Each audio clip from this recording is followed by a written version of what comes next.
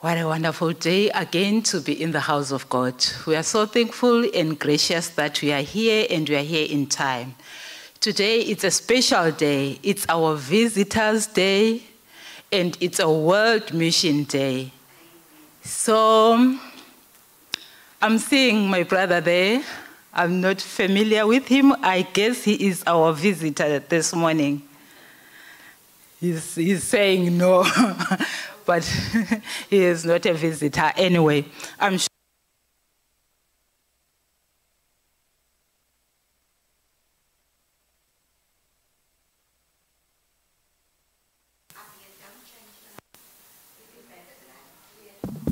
Okay.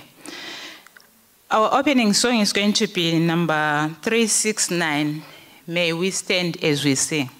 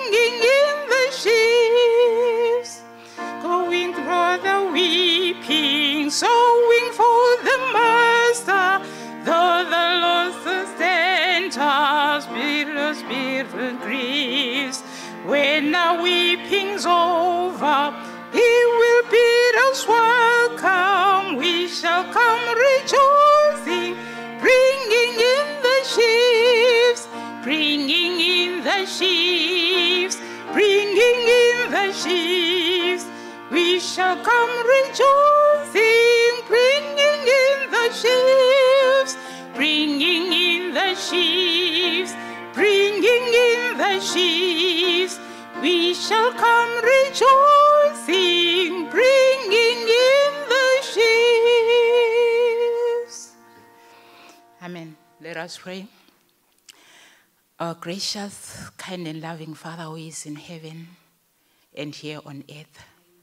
Father, we want to thank you this morning for your love, for your kindness, for keeping us in the week and bringing us to the house of worship in this morning. We thank you, dear Lord, for everything that you've done for us. Above all, we thank you, Father, for the gift of life, because we wouldn't be here praising you. Lord, in this morning, I want to pray for those who could not make it to Sabbath school because they are not feeling well. We pray that may you remember them, dear Lord, in their sick bed. May you relieve them from pain, dear Lord, on a Sabbath day. We want to pray for those who are mourning the loss of their loved ones, dear Lord. We pray that may you reach out to them, touch them, dear Lord. May they feel your presence and your comfort in their lives, dear Lord, to know that they are not alone, you are with them. Father, we pray this morning that may you help those who are on the way, who are coming to worship, dear Lord, that may you help them, that they may get here in time. We thank you, Father, for everything, and we thank you for the presence of the Holy Spirit here. We pray, dear Lord, that we may have reverence, that we may listen to the message that you've prepared for us this morning. Speak to us, Lord. We are listening. In Jesus' mighty name I pray. Amen. Mm. Thank you, Sabbath School members. I'm going to hand over to Brother Wilson, our PM leader. Thank you.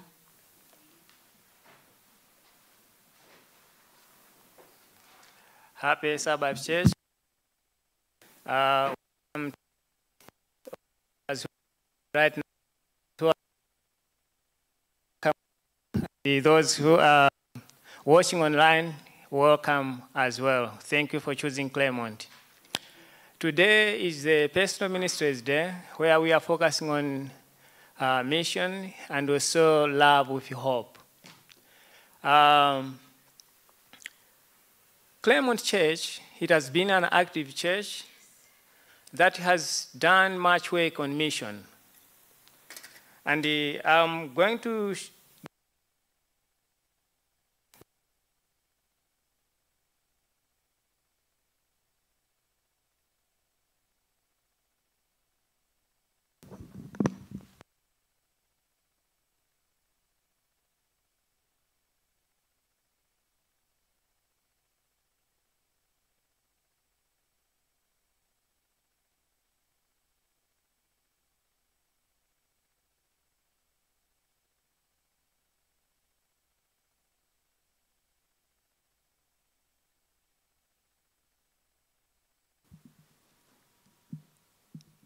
One, two, one, two, testing. Okay.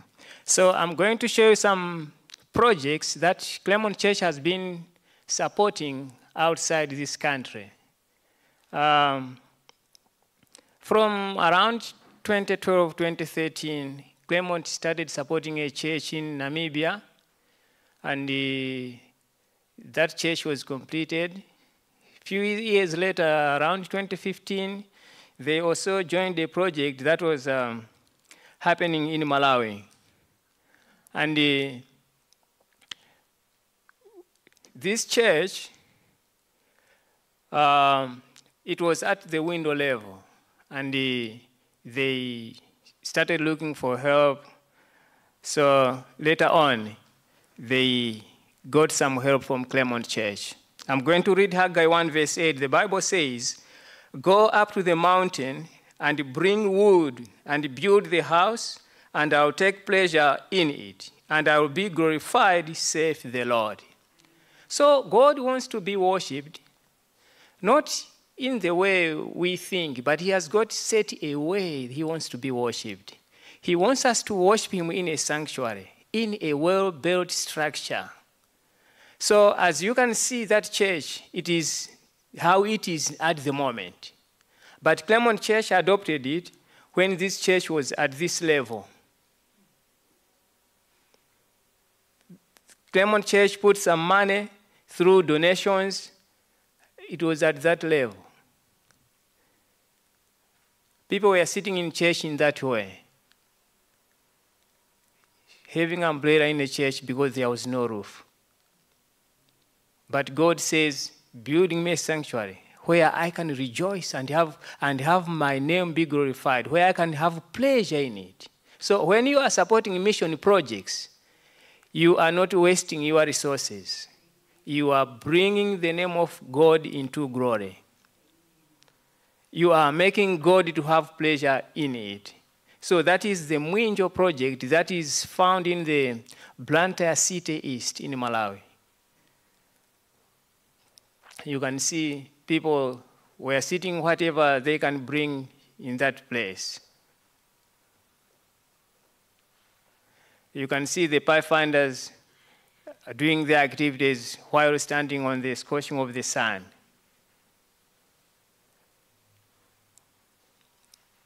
Now, at this juncture, the church has been finished. That is how it looks inside. The people who are sitting in the sun, they are now sitting under a roof, and they are sitting on the floor because they are on the project of buying the benches. And uh, when I went there in, in October, I joined this congregation, and uh, I also had to sit on the floor because there are no chairs there.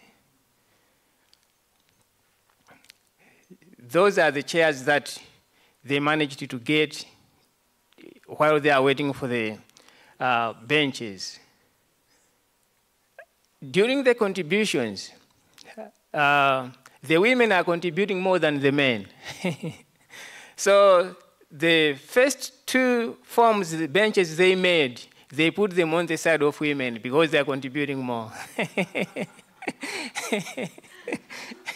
so our fellow men are sitting like that because they are failing to contribute more. but still, they are worshiping God. Those are the benches which they want to fill the whole church. They want, I think, around 38 or 40 benches of that type. And the one bench is costing 1,952 rand.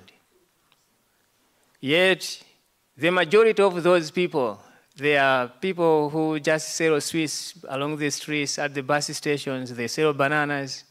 For them to find the money to fill the church with the chairs, it will take some years. And they are pleading for all wishers to join them.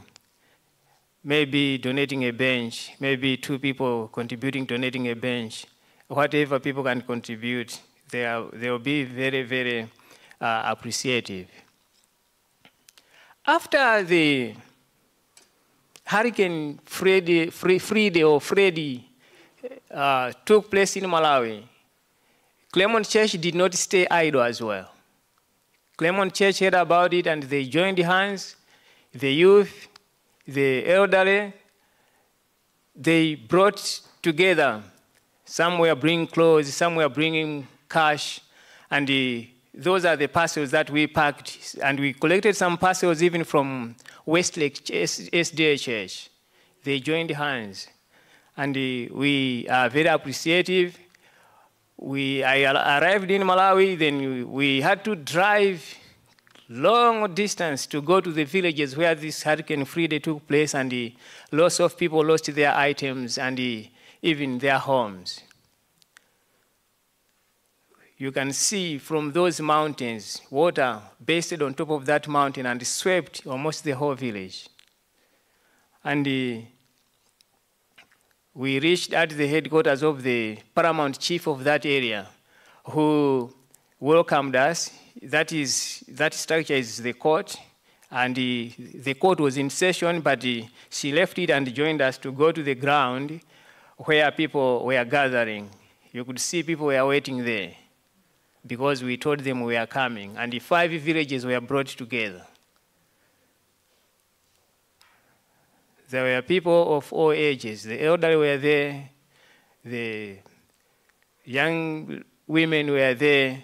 They were all waiting that what are we going to get since we lost everything. So that was the chief who, who welcomed us, and she spoke to the people, introducing us to the community there. And those are the luggages we took from here to Malawi. And we had to take a symbolic picture for the chief to keep in his office. And the disaster management aid was also there. Um, and uh, we had few blankets that were also donated. And uh, we had to choose whom should we give the blanket amongst all these people because there were many. And uh, that was one of the blankets that we took out of the bags. And uh, we identified the recipient, that old lady. When she received that blanket, she said, Oh, today I'm going to be a human being. I had almost shed my tears because she has been sleeping without a cover. So, the, whatever you think you can give out to support somebody, you are not wasting it, but you are changing a life of somebody. And you are bringing pleasure to God as God has said in Haggai 1, verse 8. So the lady, the old lady received her blanket, and the, those are the clothes that we collected, and some bags were just behind. And uh, we had to make a system now. How are we going to distribute these things?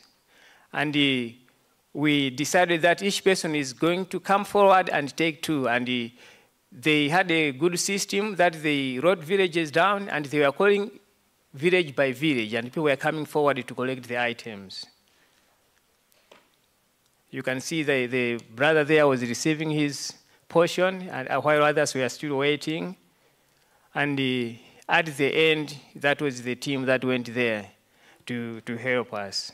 And uh, this brother is the one who transported us there, and this lady is the one who was coordinating with the chief to gather the villages to bring us together. And this one is uh, Brother Steve and his sister Miriam. They are all um, the members of our church there. Lastly, the project that also has been supported by Claremont Church. It is the Mlombo's Seventh Day Adventist Church. This church, it was being built during the COVID.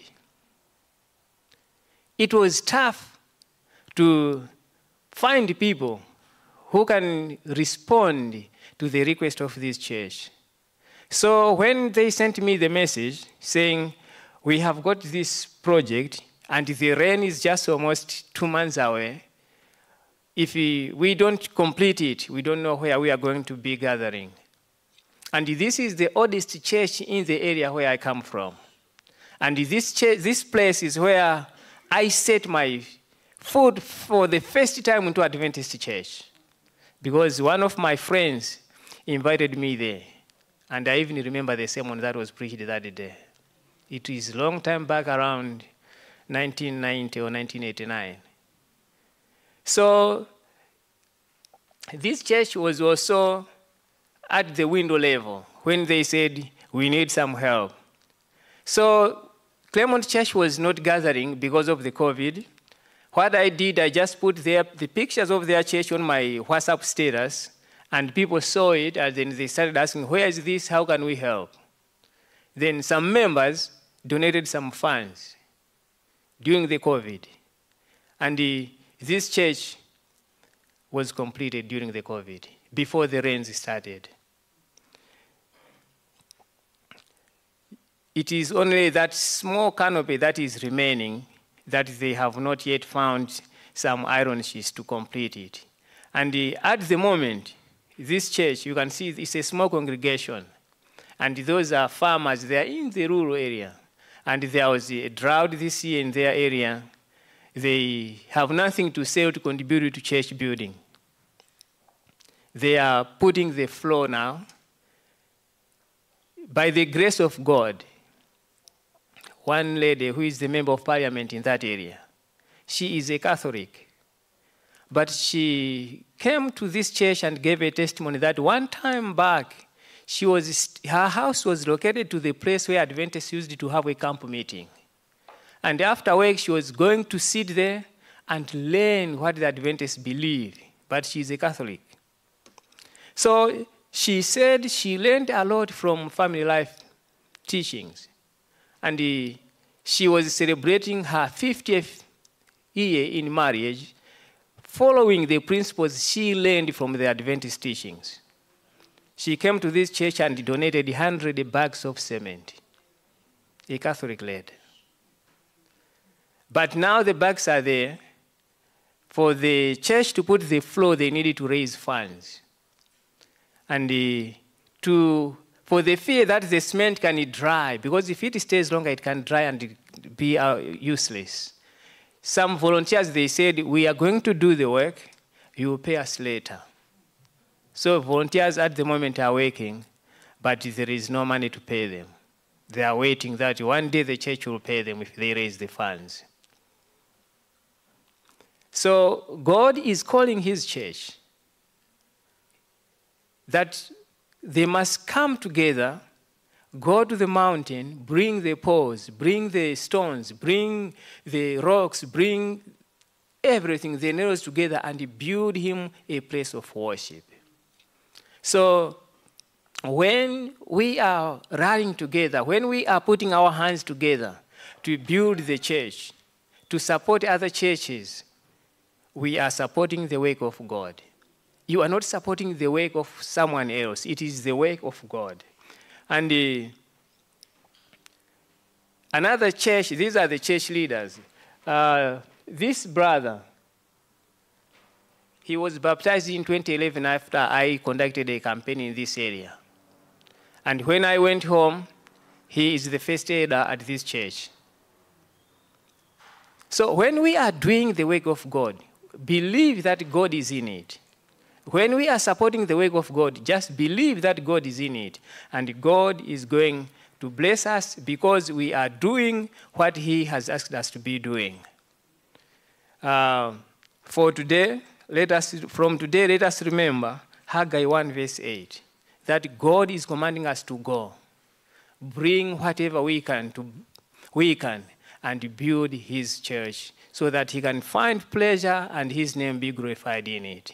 Amen.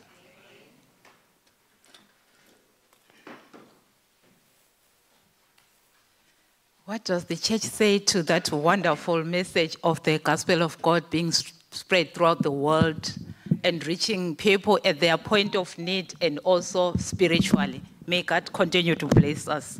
At this point in time, I'm going to take some birthday offerings and thanks offering. If there are any who need to give some offering, please raise up your hand. I'll come to you. Thank you.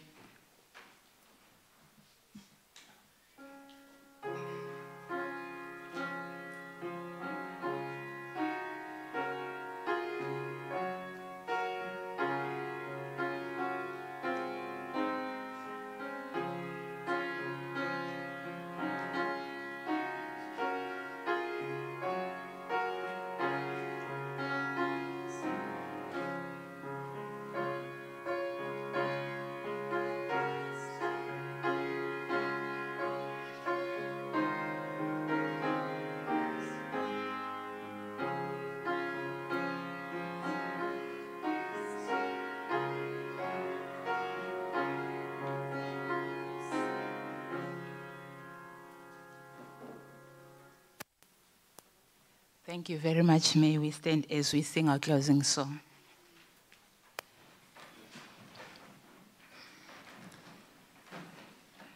Three five eight. Three five eight. Three five eight.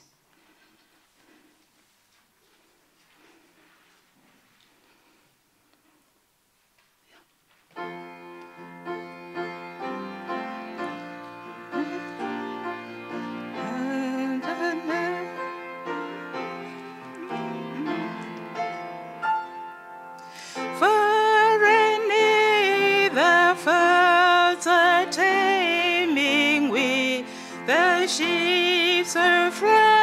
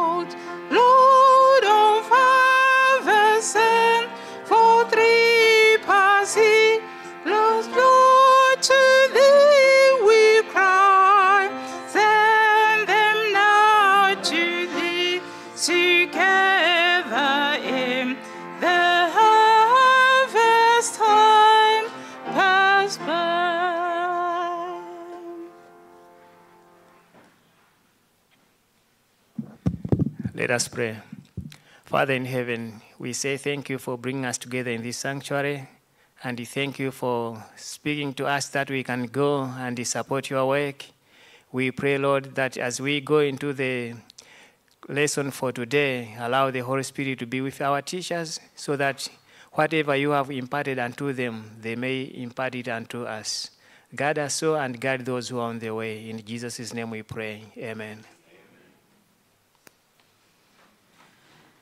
Amen. Thank you so much, uh, PM leader, and the work that is being done by the church throughout the world. We thank God for using His people. May we continue to support the ministry in doing the God's work.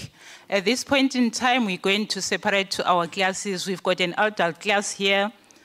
We've got a youth class behind the class. We've got another adult class in the library. We've got kindergarten behind the foyer, baptismal class in the in the hall, and then disciple class upstairs in the pastor's office. Kids and curricular, I mean primary, junior, and all the other classes are upstairs. May we separate our classes. Thank you.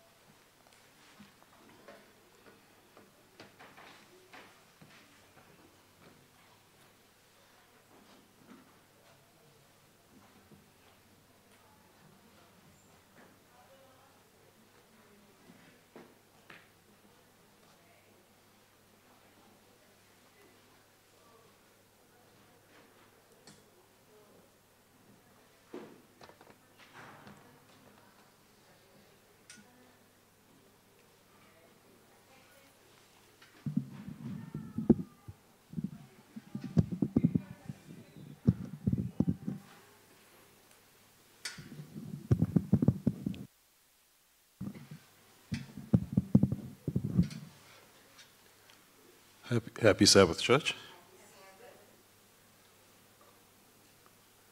I can see we still have a few people in the foyer that are coming in, so we'll give them a minute.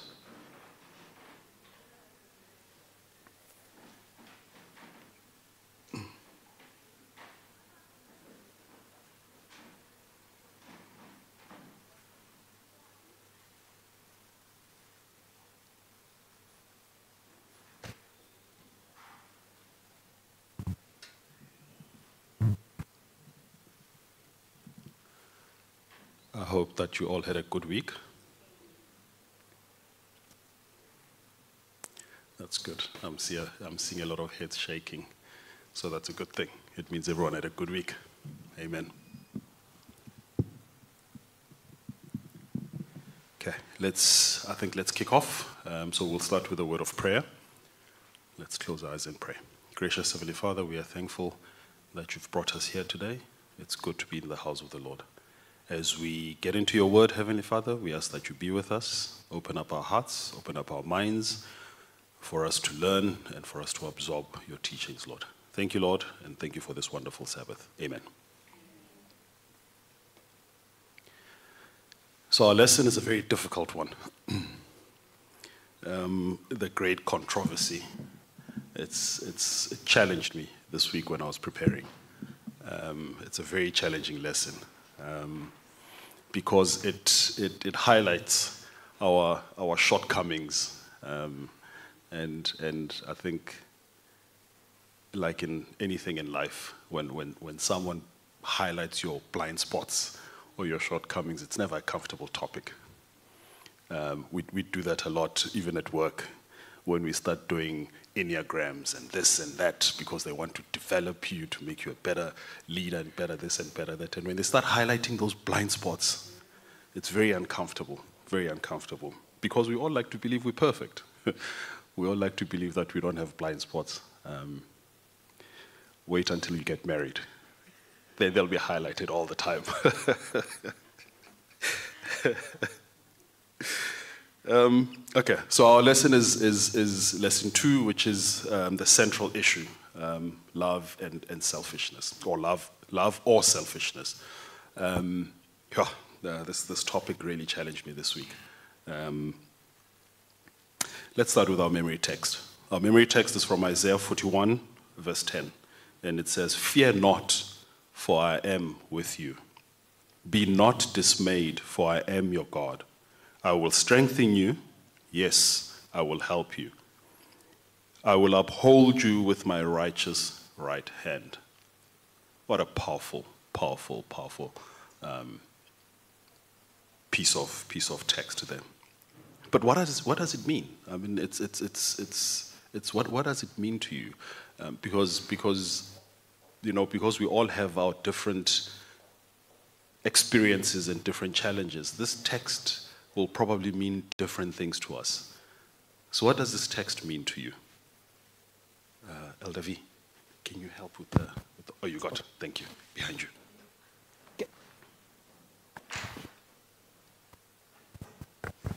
Happy Sabbath, everyone.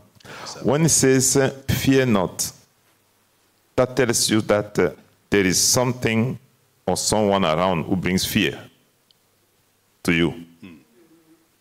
Okay? So there is an the existence of something or someone that creates fear around you.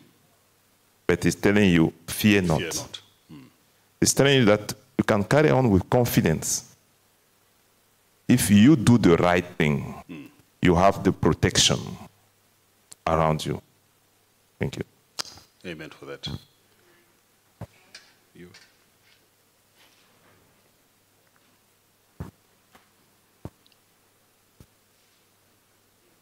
Sorry. Good morning, everybody. Morning. What I noticed, the five eyes. I will be, I will. God is repeating himself what, what he alone can do. And so before you went into that, I just explained it this morning. I felt very bad listening and reading, seeing what Jesus is doing, has done, and where I am. Hmm. But God is still saying, Let me do it for you. I've done it for you. And I cannot help but see Ezekiel 20, 28, where the eyes, somebody else is speaking, and he mentions five eyes too. Yeah. I will be like the Most High. I will ascend. I will. And that's his opposite. It showed the jealousies Lucifer has for God. Mm-hmm. Because God alone can bring this to pass. Amen. Amen. One more hand. Thank you. Um, for me personally, you know, God is perfect. And whenever something bad happens, that's what is, the lesson is bringing out. Whenever something bad happens, people always question and say, if God is so perfect, if God is so good, why are all these bad things happening? And I'm not going to run ahead of you in the lesson, so I'm not going to answer that question. But here is the promise that God is making to us. And I'm, I'm going to say for me personally, you know, in a world that is not perfect, in my life that is not perfect, there are so many things that I wish could be different, Yeah. you know, and where I'm asking God, please help me with this. But where God is saying, I am your God, mm. I will uphold you, mm-hmm. and I will help you no matter what you are going through. Absolutely. And that is, that is something that means so much to me mm. because. Anyway, Thank, thank, thank you for that, and thank you for bringing the emotion, um, because that's exactly what this lesson is about. Thank you. Um, you know, when words like I'm with you I said, the relationship between you and the person saying it also counts. So, if, um, for example, if I just take it to a work situation, if I trust my boss and we have a big presentation or something, he says, Relax, I'm with you, you know? You're but if I know that he's always trying to throw me under, or if the history between us tells me that I might be the one sacrificed, those words will not mean much. Absolutely. So that, you know, you've been called when someone says fear not, they're asking you to do the opposite. Have faith, but you're having faith in who? What you have as an underlying relationship, so I think Sister Sharon was also touching on, will, will, will, will, will be the foundation of, of why you will believe those words Exactly. when it says, I am with you. So I think uh, it also calls upon us to investigate what is the relationship between us and the person saying these words, the one that says, I am your God. Absolutely. Viewer? I think to me, it just is uh, don't be discouraged. Heaven is on your side. I always, when, whenever that, that word comes, heaven is on your side. No matter how, how, how I do not see clearly before me and I feel like I'm anxious or anything, heaven is on your side. Amen. Amen. One more hand at the back. Oh, sorry. I'll come to you just now. I missed that. When I read this verse, I see action. It's not just saying, sit there. It's saying, I'm with you, I'm accompanying you, because he's holding your hands for the action.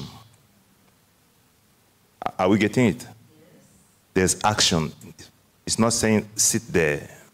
You're not doing anything. yeah. Thank you. So it's love in action, and we'll touch on that a little bit later. I also love this verse. It's my go-to verse. I love that. Uh, I, I think I read um, the other version. I'm not sure which, which one is it. It said uh, victorious right hand. So I've added now to righteous, victorious right hand because the victory has already been won for me. I love that uh, because that victories are short. That victories are short. It's, it's, it's such a powerful verse to start off this, les- this lesson that, that um,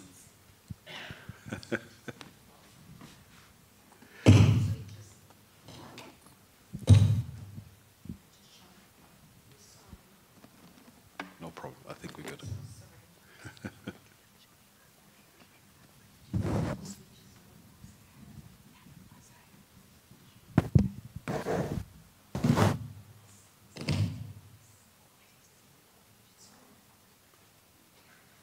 All right, thank you. Um, it, it's such a powerful verse that I feel like closing my laptop and sitting down because, because discussing this verse and what it means to everyone is, is essentially the gist of, of this lesson. But maybe let me just share with you what I got out of this verse. Um, I mean, you don't have to agree, but it's what I got out of it. Um, I picked up four promises. Uh, I've picked up four promises from this, from this word, from this verse that God is making to us. The first one, he says, "I am with you." That's a promise. That's a guarantee. He's not saying, "I'm maybe with you." No, he says, "I am with you." That's a guaranteed promise. The next one says, "I am your God." He's not saying maybe. It's a guarantee. I am your God. And the next one says, I will strengthen you.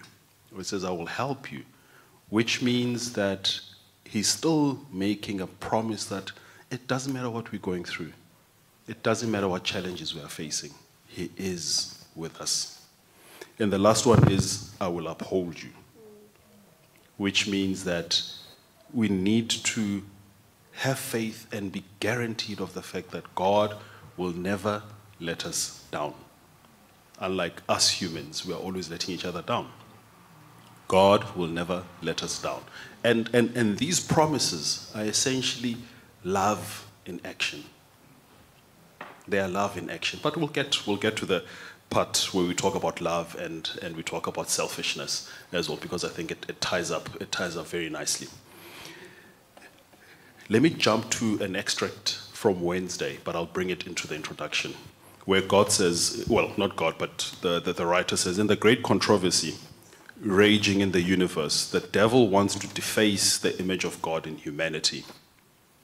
The purpose of the gospel is to restore the image of, human, of God in humanity. The restoration includes physical, mental, emotional, and spiritual healing. And this is an extract, like I said already, it's an extract from Wednesday. And I thought it was important to bring it into, into our introduction as we lay the foundation of, of, of, of this lesson. So let's move on to Sabbath.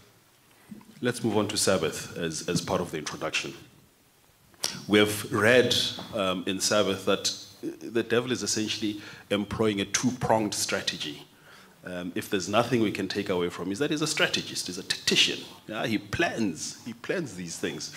Um, and and, and one, of, one of the strategies that he's employing is, is deceit. Let's define deceit. So, by definition, what is deceit?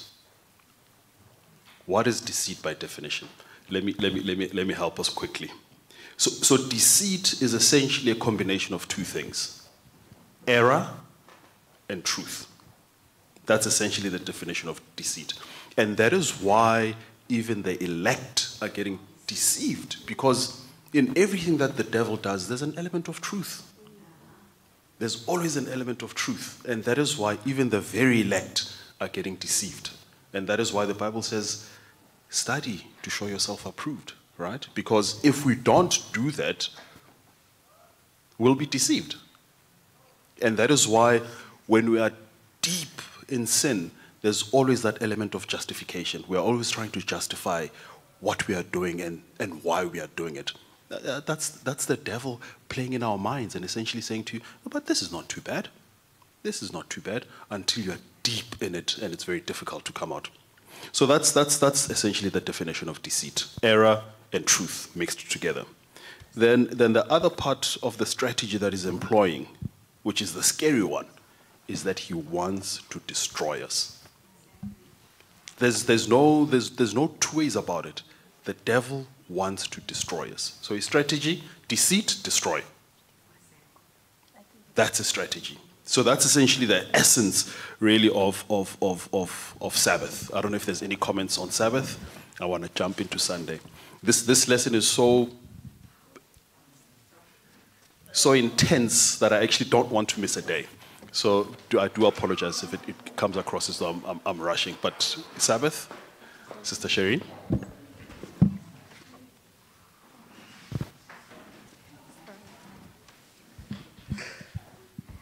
Sorry, Brother Sachaba. I, I also wanted to, the other strategy, I don't know if that falls in with deceit, but the, the, the fact of compromise. Mm. That really struck me because we don't give up our truth completely, mm.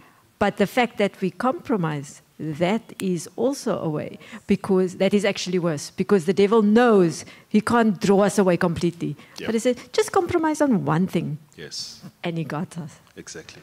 Exactly. And that's a very powerful point around compromising. And that's, that's something that we as Christians do a lot. I was, I was watching, a, I'm, I'm, a, I'm a huge soccer fan. So I was watching one of the Liverpool games in the week. I don't, I don't want to talk about soccer.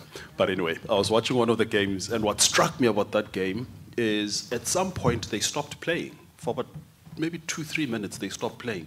And I was wondering, well, what's going on? Why would they stop in the middle of a game and, and, and they walk to the sidelines and then two, three minutes later they're back on? Until the commentator came on and said, um, you know, because of, of, of Ramadan and Eid, the Muslim players had to go break fast, drink water, come back and play. And I said, wow, if, if, if, if the world can take certain religions that seriously, what are we doing wrong? What are we doing wrong? The fact that a whole game can be stopped so that they can observe something. Um, what that essentially told me is that because Muslims and they, they take themselves seriously and they take their religion seriously and they're not shy about it. And that is why the world takes them seriously. And maybe the question is do we, especially Adventist Christians, do we take ourselves seriously enough for the world to recognize who we are, what we are about, and what we believe in? It's, uh, it's, uh, it's, it's, I'll, I'll leave you to ponder um, on that question. Any other comments on Saturday, on Sabbath, before I move on to Sunday? No. Okay, good. I think we'll, we'll move on to, to Sunday. A broken hearted Savior. Wow.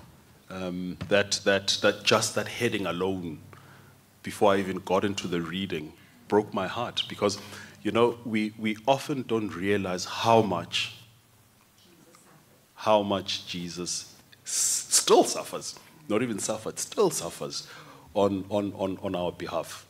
We, we almost tend to treat God as, a, as an object with, with no feelings. Um, and, and that is why we continue doing what we're doing. I cannot help but run for that. He came to his own, and his own received him not. John 11. Yep. And we say John it's 1, so 11. easy. But you know, the Afrikaans has a beautiful, beautiful proverb. I wish everybody could speak and understand what it says. As jou eie hond jou byt, byt jou die seerste. Now let me say what it's saying. if your other dogs bite you, you expect it. It can be accepted and to be explained.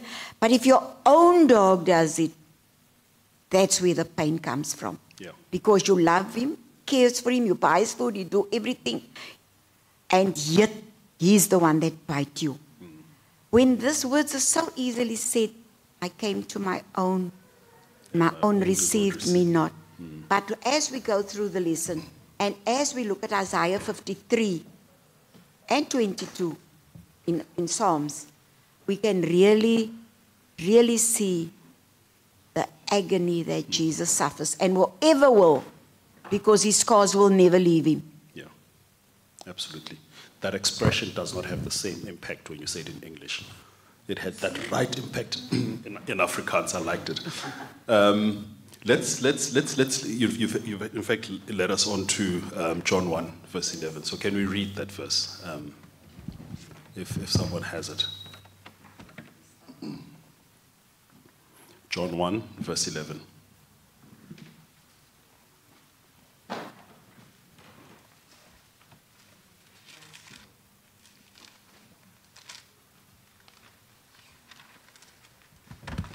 If you have it, please read it.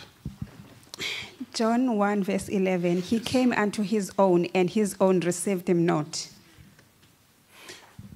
He came to his own, and his own received him not. Can you imagine you've been away from home for a long time and you decide to go visit and they don't receive you? How would that make you feel? I mean, the story here that talks about how Jesus was sitting at the Mount of Olives, looking at Jerusalem and thinking, you are going to be destroyed. How that felt. And the question that I started asking myself is come with me a little bit. Let's, let's paint a picture. Um, and we've got a visitor. Let's, let's, let's, let's, let's, let's paint a picture of, of Claremont Church. And, and God is sitting at the top of Table Mountain and is looking at Claremont Church. What is he thinking? What, what is he, yeah, what, what, what, what is he thinking? If, if we inspect our own lives at the moment, do you think he's sitting there watching the church and thinking, you are going to be saved? Or is he sitting there watching the church and thinking, my dearest Claremont Church, you are going to be destroyed? What is he thinking? I'm sorry, it seems everybody through this lesson, I, I don't think, I think this is the crux of the whole lesson, hmm. the, the weeks to come. Because when he sat there, he says, Jerusalem, oh Jerusalem, you kills the prophets, I send them to warn you. And you kill them and stone them. I send them to give you a message. I send them to let you know that I love you. Hmm. But what did you do? You killed them, you stoned them, you. Oh, Jerusalem. And then he says the words that the others heard him say. You know, people are very what they want to hear, what they want to say. And when he said, Not one stone will be left upon another, what does he mean? He can throw this temple that took so many years to build. Was that what Jesus was saying? No, he was looking at their spiritual needs. how hopeless they made their own condition. I'm here among you now to show you how to live. It's not impossible. I can do it. You can do it too, because I will do it for you. Yeah. Abs- abs- absolutely. Uh, Sister Millennia?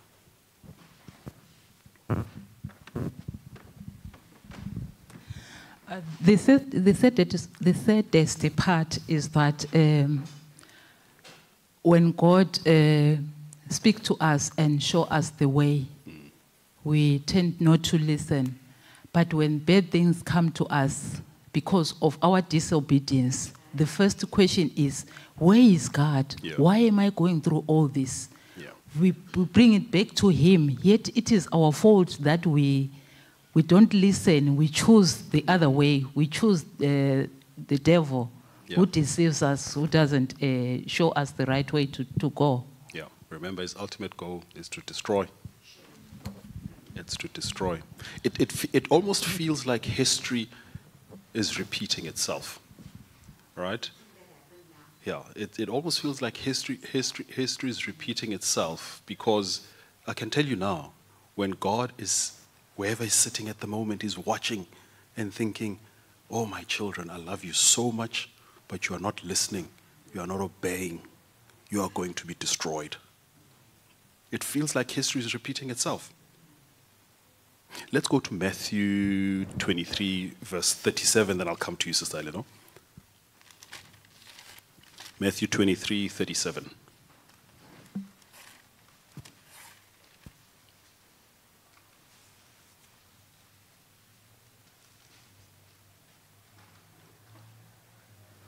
Twenty-three, verse seven. Thirty-seven. Sorry. If you have it, please read for us. Matthew 23, verse 37. Yes. O Jerusalem, Jerusalem, thou that killest the prophets and stonest them which are sent unto thee, how often will I have gathered thy children together, even as a hen gathered her chicken under her wings, and you would not? And that's the verse you're referring to. Um, Mike?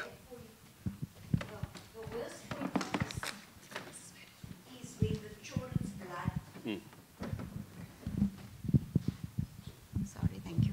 My, my daughter and I have fights when the news is on.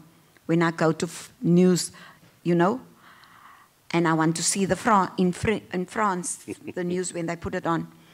And then she say, "Remember the children. There's children involved." This week's lesson, I looked. I said, Jesus saw what was going to happen, what he had caused. The blood of innocent babes and children that flowed. Sister White writes, she say the blood ran like water. Hmm. Can you stop water when it's running? The blood flowed like that. Everybody who passed by.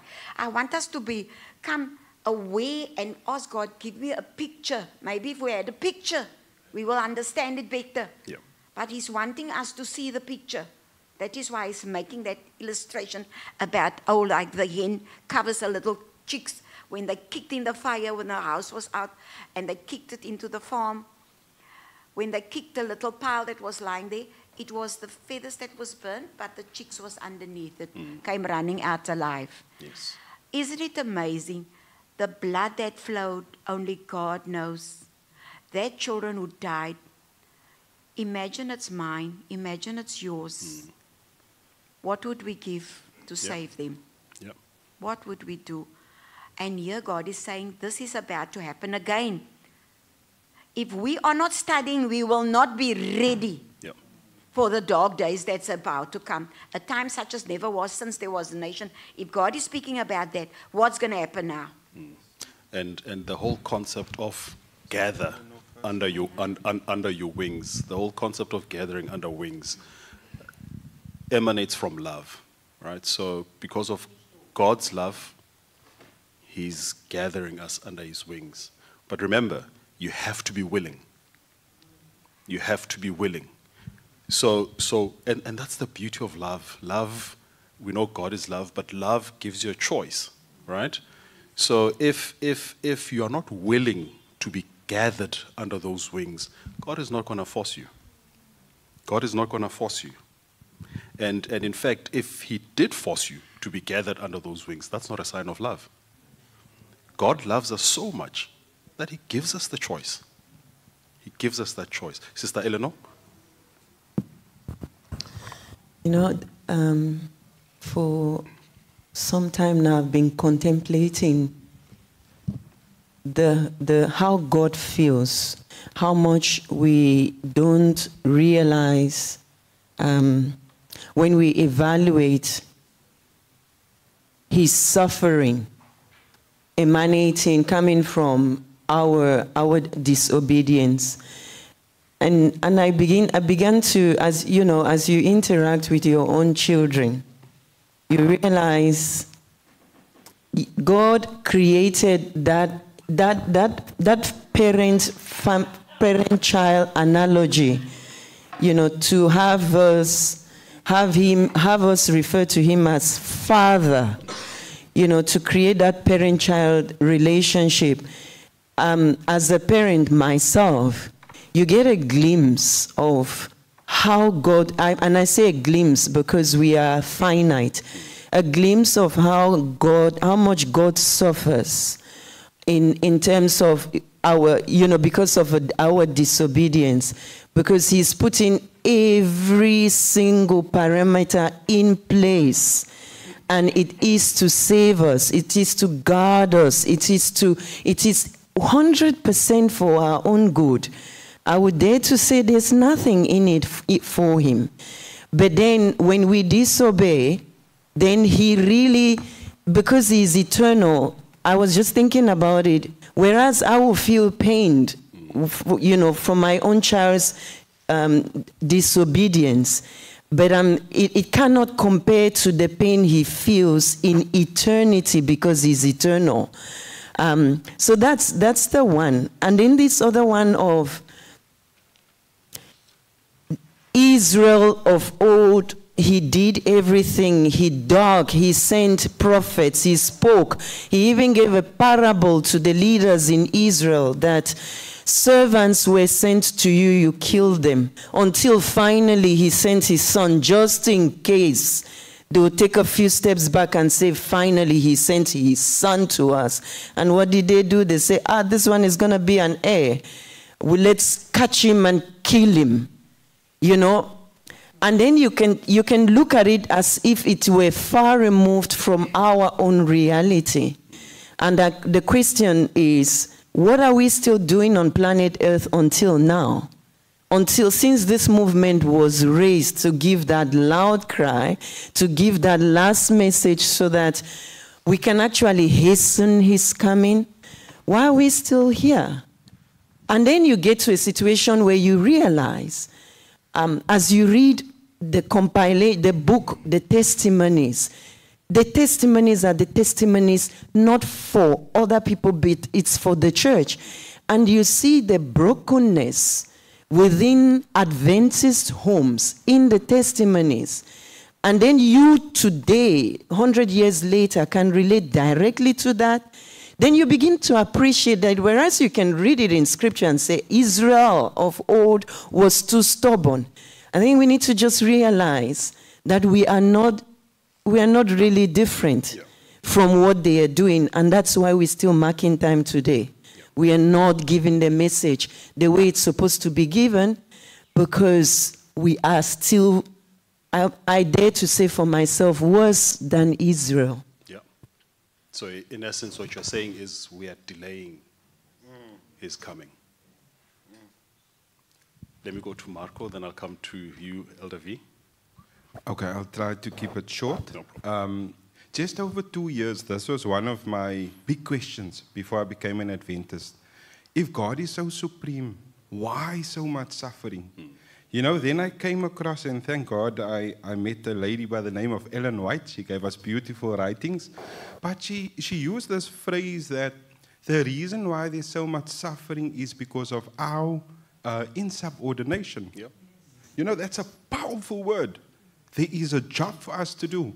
You know, when I reflect back on Luke 21, verse 20, The children of Israel were given warnings time and time again. We always tell our children strike one, strike two, strike three. God is giving, in His mercy, is giving us warnings.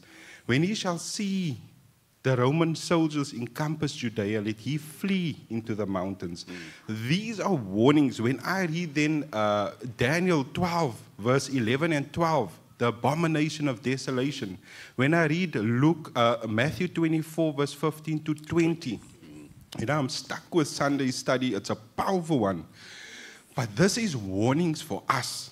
We are now looking for when church and state comes together, when God's law is made void, that is the abomination. Stand in the holy place. Yep. You know, let ye flee into the mountains. My question is are we willing to make that same mistake that the children of Israel made, that hearkened not to the warning of God, that were destroyed men, women, and children by the thousands? Hmm. The writer says that God looked with tears in his eyes as they were destroyed. That was not part of his plan. Yeah. They hearkened not to his warning. Inspiration says, Ellen White says, not one Christian that listened to the warning to flee perished. My question is are we willing to hearken to that warning and leave the big cities? Amen. I, I I love how you brought um, Sunday together because I was actually going to go to Matthew 24, 15 to 20. You've brought it uh, together nicely, so I'm not even going to attempt to, to, to mess with it. Um, in fact, that part where, where, where it talks about God had tears in his eyes, Ellen White then says, those tears were not for himself. Those tears were not for himself. Those tears were for you and I. Those tears were for you and I. Brother Viwe and then Brother Francois. All right. Um, when I, I hear this verse, um, that um, he came to his own, but they received him not. I just think of a God who's, who's familiar with um, rejection and um, who is used to, um, to know when people are when people constantly say no and no and no, um, you will tend to doubt yourself. I mean, even uh, children of today, uh, maybe uh, let me not let me say children of today. It can happen. I mean, when we're younger as well, um, when you constantly um, receive rejection, that sometimes will, uh, will kind of just shape you on how you think about yourself and everything. But we, we, we serve a God that is different. that um, in my language it says, Ulanda futi emkondweni which is he does not get tired. His love is stubborn. Um, whether you are saying no, he respects your choice, but he loves you anyway. Even in the Old Testament, it says, My people have committed two sins. They have forsaken me, the fountain of the living waters, and hewn themselves cisterns, broken cisterns that yield no waters. God is, is, is familiar with rejection. Uh, but we, we, we are grateful that we, we, are, we, are, we are serving a God who, who's not like a reed, um, who's not shaped by how you, you view him, but give it some time. He's long suffering, and he's going to show you every day how beautiful he is and, why, why, and that which he wants for you. And, and everything that everyone has been saying is the true definition of love. And, and that is why God is love. So I'm glad that all the comments that have been coming through have been defining what love is, and they've been defining God. We'll get to selfishness shortly. Um, Brother Francois? I just want to, to, to go back to the, uh, John 11 that uh, we just read. He said, He came unto His own, and His own received Him not. But before that, uh, verse 5 said that, And the light shineth in darkness, and the darkness comprehended it not. Why does the light, or did the light, or does the light shine in darkness? Because darkness on its own will not appreciate that it's in darkness. So light comes to darkness to tell darkness that you are in darkness. and you appreciate the beauty of being in the light. Thank you. Amen.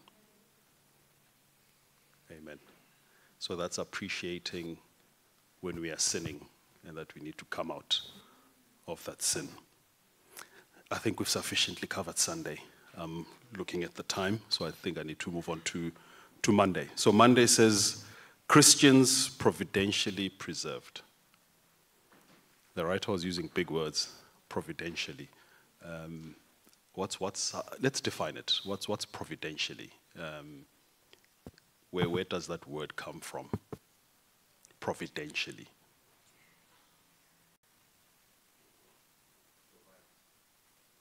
Okay, we've got provide. What else? Preserved. Okay. So, so from from from from a little bit of research when when preparing, I, I then decided let me let me get the, the the definition of providentially, and and essentially what it says is biblically it says resulting from God's intervention. That's providentially, right? Biblically. But if you go to the normal dictionary, it's, it's actually a word that comes from, from a Latin word called providentia, which is foresight, precaution, or foreknowledge. That's, that's essentially what provi- providential, providentially means. Which means then that if we were to change Monday's heading from Christians providentially preserved, we could say, through God's foreknowledge, foresight, and intervention, Christians are preserved, which means they're saved. Because he already knew what was coming. He knows what is coming. He's got that foresight, which is something that we don't have, right? I mean, in, in, in, in the work environment and in business, they will always say that you need to come up with uh, strategies, um, you need to have forecasts for the year. Um, and, and, and I mean, all of those forecasts and strategies that you're putting together, you, you're doing that in the dark because you're making assumptions right? It's, it's, never, it's never a guarantee. So you will base it on, on history. So you will say, well, last year as a business, this is what we did. So, you know, this year, if we employ these strategies, this is what we will do. Um, but it's not guaranteed. It's not guaranteed. But in this instance, God's intervention and foresight is guaranteed because He knows what the future holds.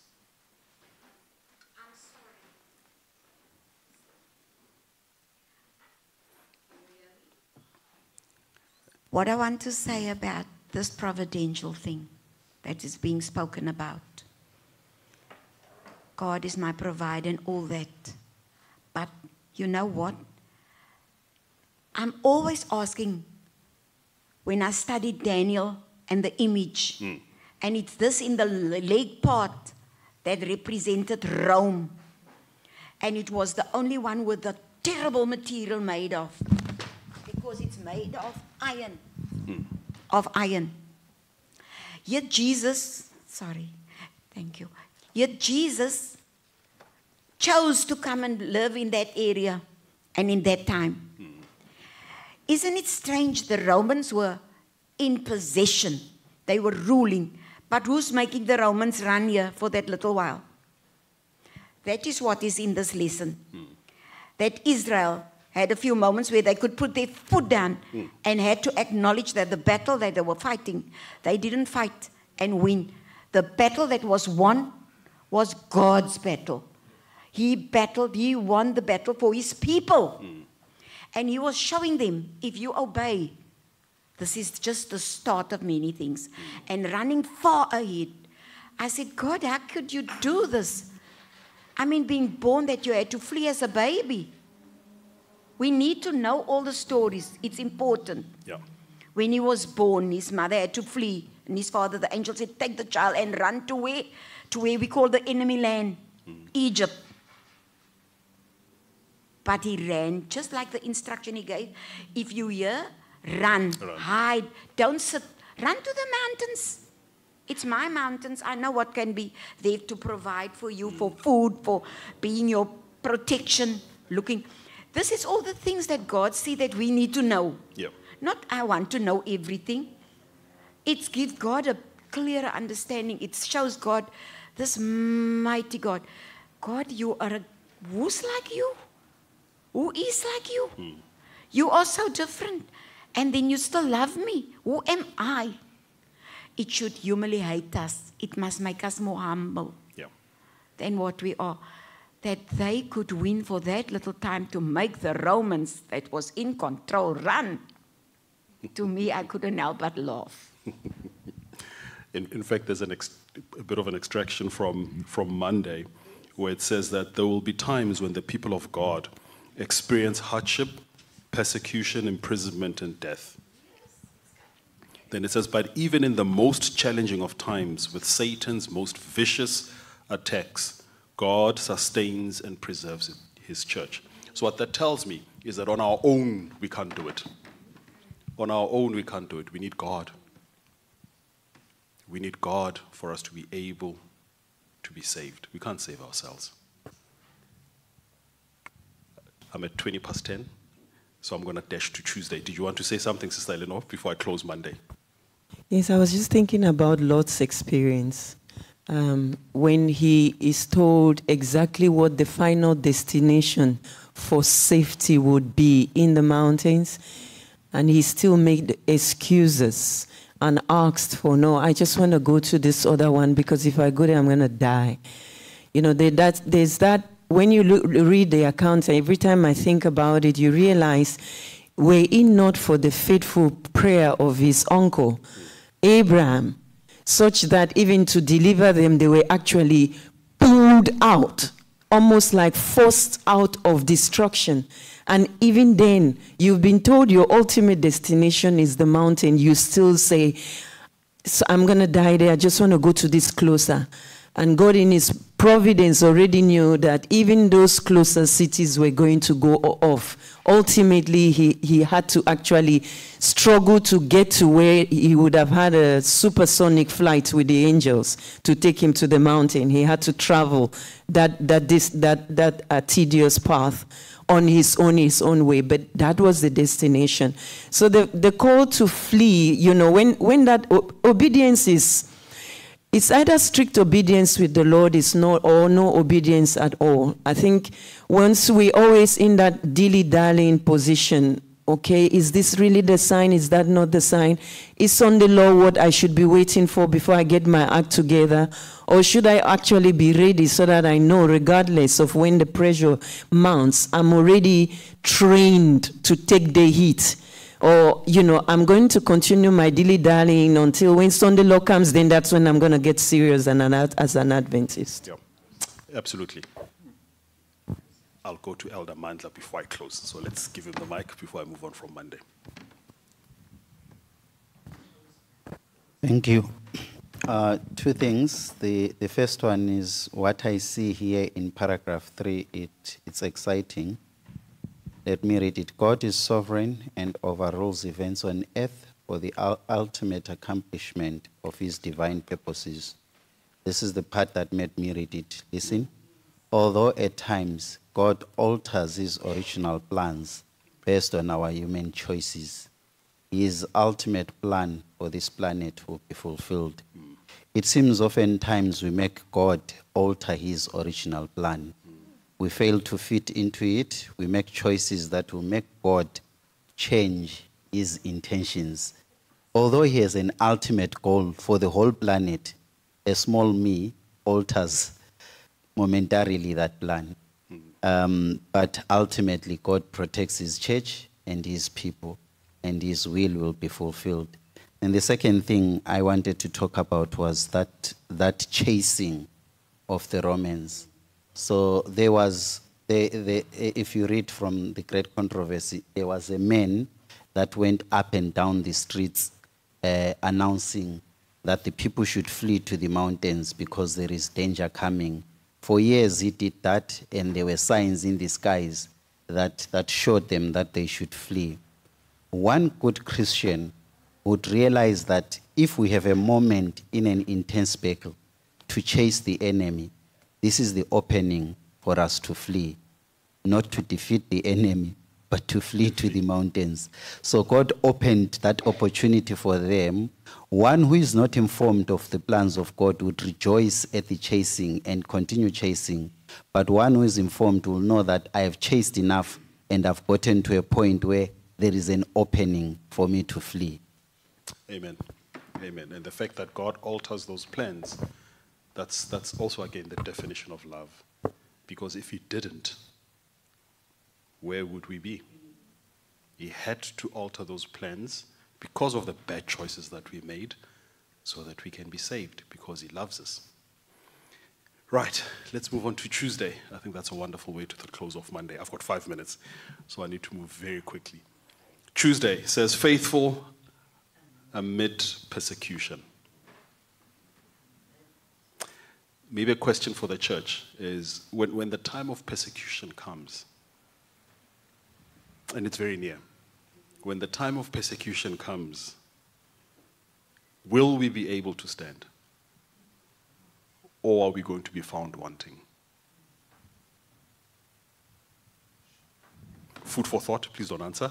I, I need to move on, but think about it. When, when that time of persecution comes, and, and when we say it's close, it, it truly is. It is very, very close. When that time does come, will we be able to stand?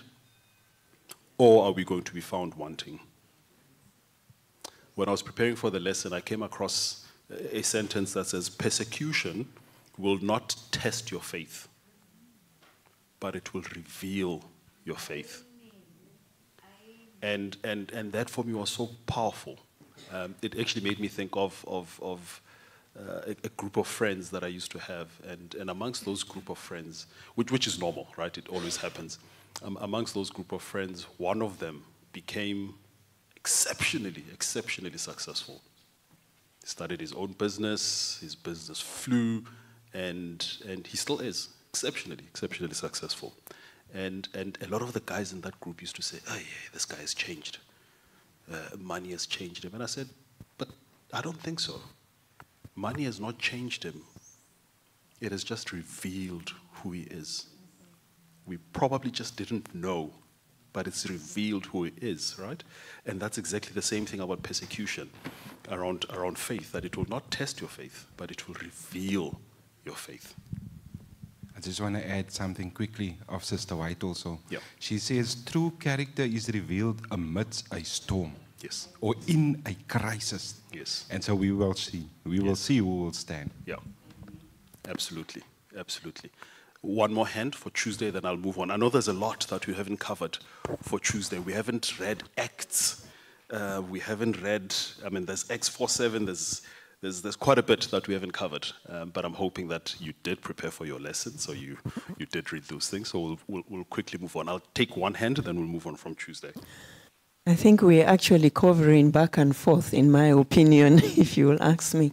But I, um, the point I wanted to make is that's why we ask the question, and I think we always need to introspect um, the point is, character is never going to be revealed in crisis. It's never going to be um, um, built in crisis, but it's only crisis reveals character.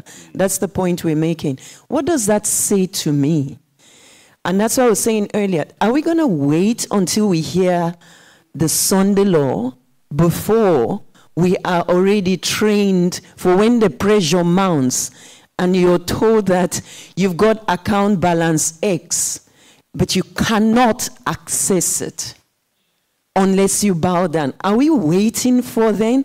Or are we already so living close to that God such that when we are brought to that state, like Job, we will still say, in this crisis where I am, I will still obey him. Though I, I can see, it seems to me I'm finishing. Are we going to be get, able to get to that point where we're saying, even I, my flesh can go now, but I know that I will see him. Like I'm talking about the experience of Job. So we can say it, and someone says, we are good at sitting at Sabbath school and exchanging ideas and talking this. How does that translate to practicality? And to me, that's what I always battle. The, the fact that we don't realize that we can hasten the coming, we can hasten the crisis so that we can go home. By being real Adventists who are not waiting for the Pope to move, but actually doing the work so much so that it infuriates the Pope. And we are able to actually be given an opportunity to give that loud cry and experience what it means to be preserved within a crisis and come out victorious. And hopefully, Christ finally comes. Thank you. Wednesday, caring for the community. And, and I mean, it, it, this also ties into what you've just also mentioned, Sister Eleanor. It, it, ties, it ties beautifully into that um, because caring for the community is probably a true test um, for us as Christians around the concept of love. It's really a true test for us because we read in the lesson that in the early days, the Christian church grew. So amid, amid the persecution, amid the killings, the, the death, the imprisonment, the church still grew. Why? The church was still growing. Why? The church was growing, and I'm going to tie it into Thursday as well. The church was growing because Christians in those days demonstrated love in action, which is something that we are failing to do now. Christians in those days demonstrated love in action. It wasn't a talk shop, they did things. We are not doing things. And, and that is why our church is not growing. Please read Acts 2 44 to 47. We won't read it now, but when you have time, please read that. It ties, it ties Wednesday in very nicely. And the other thing that I wanted to mention about Wednesday is that as Christians now, we, we don't have a common goal that Christians then used to have. We, we don't have that. Now it's about self. How many properties am I accumulating? How many houses do I have? How many cars do I have? It is no longer a common goal about trying to find ways to meet the needs of the needy. We're not, we're not interested in that anymore. We're not doing that anymore. And, and, and that's where the selfishness and the crux of the selfishness in this lesson actually comes in. And where does that come from? Where does the selfishness emanate from? When I close it up, um, we'll, we'll, we'll, mention that. Um, Sister Eleanor? I just want to this thing. Oh, okay, so. But think about what was our attitude during the pandemic. I know the, the, the lesson highlighted um, uh, cases, you know, similar experiences in the past, and how Christians dared to go out there and even lost, got contaminated and died in the course of helping other people. We just had a pandemic. Yeah. We sit on something called the health message. What, how, what was the action when the Lord gave an opportunity for Adventism to shine, to, the, to, the, to take, take the, the, the gold given to the church to, to shine it out. But the church did practically very little. Exactly. And, and that's, that's the lack of love in action that I'm referring to because it's now about self preservation. When that pandemic hit, COVID, the first thing we all thought about is I need to be locked up at home so I can preserve myself, preserve my family. Christians back then did not do that. They were called to action when pandemics hit. They were called to action and they moved. And, and I know we, we, we are always saying that when COVID hit, uh, you know, it's signs of the time, signs of the. Maybe it was a test for this church to move.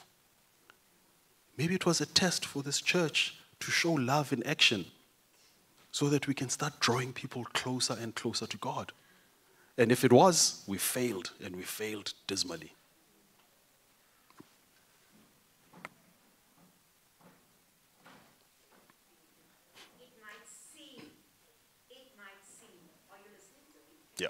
I can hear you. It might seem that we have neglected or not. Must I tell you what God's words say that we must eat and chew and hold? Hmm. My word will not return unto me void.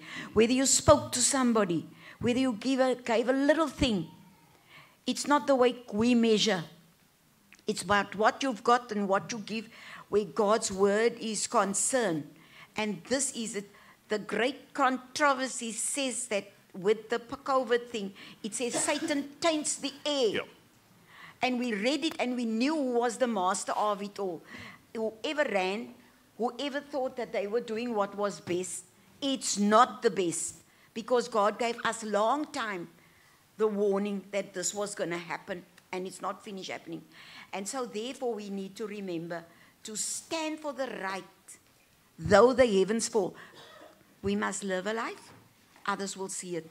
Isaiah 55, verse 11. Amen. Amen. I've been told I need to close. I apologize. I've been told I need to close. Um, so, so, in conclusion, in, in conclusion, where does love emanate from? We know that love comes from God and God is love. Where does selfish, selfishness come from? Self, the devil. Our love for God is manifested in our love for each other. The love of God, and in closing, I want to say this the love of God destroys all selfishness because God is victorious. Amen. Let us pray. Gracious Heavenly Father, we thank you for this powerful lesson study that you've given us, Heavenly Father. Um, we did not do it much justice, Heavenly Father, but we pray, Lord, that as we prepare for these sessions, that uh, you speak to us and that you move us, Heavenly Father. It's time that we have love in action, and it's time that as a church we demonstrate that. Be with us for the rest of the Sabbath, Heavenly Father. Um, grant us a good Sabbath, and may it be a wonderful Sabbath, especially because it's uh, a Sabbath where we have visitors, um, and we pray, Heavenly Father, that they'll be blessed and that they will be changed. Uh, they will not be the same as they came in. Thank you, Lord, for your love. Thank you for your mercies. Be with us today. Amen. Thank you.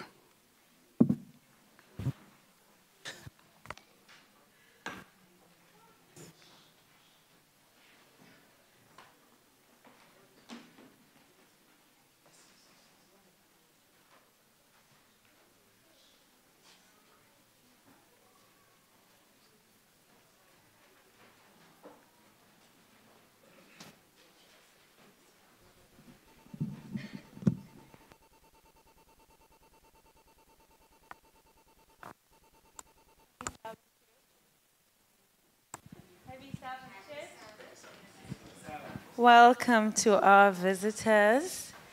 Um, we're going to start our song service, and I'm going to ask Sister Naledi to open for us in prayer. Okay, let's bow our heads and pray. Dear Lord, thank you for the Sabbath and for granting us life. And today I pray that as we're about to go into our worship service, that you will fix our hearts and minds on you, that we may sing to your glory. In Jesus' name I pray, amen. I'm just going to ask for you to have just a hymn close by, just in case we have challenges with our projector again today. Our first hymn will be 245.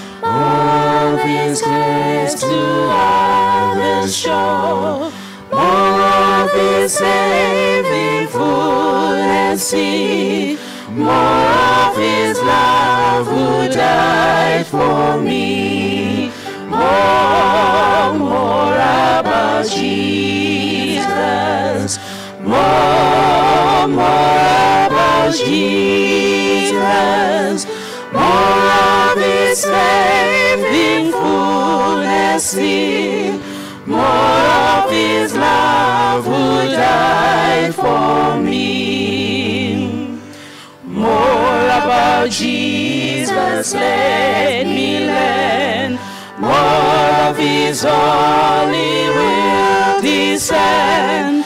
Spirit of God, my teacher be. showing the things of Christ to me. More, more about Jesus. More, more about Jesus. More of His saving fullness in. More of His love who died for me. More about Jesus in His Word, holding communion with my Lord, hearing His voice in every line, making each faithful saying mine. More, more about Jesus. More, more about Jesus. More of His saving fullness. More of His love who died for me.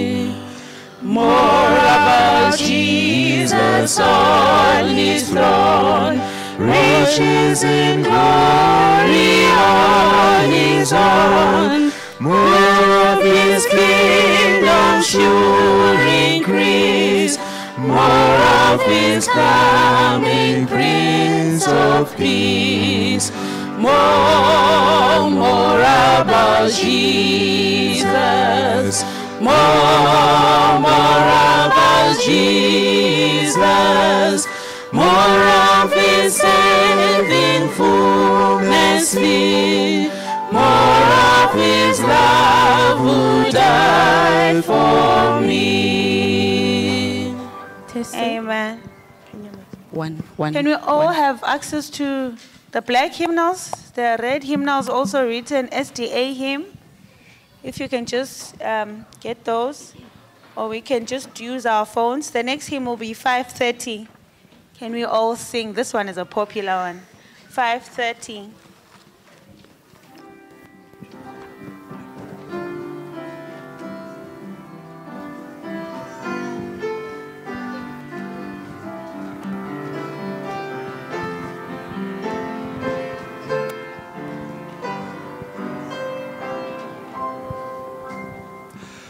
When peace like a river attendeth my way, when sorrows like sea billows roll, whatever my heart thou hast taught me to say, it is well,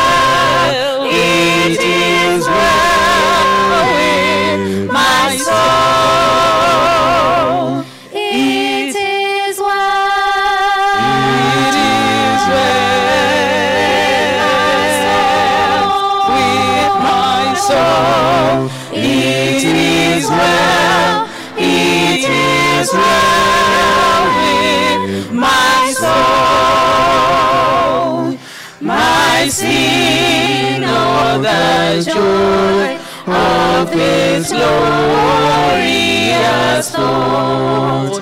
My sin, not in part, but the whole is nailed to the cross, and I bear it no more. Praise the Lord, praise the Lord, oh my soul. It is well. It is well, well with my soul. It is well, it is well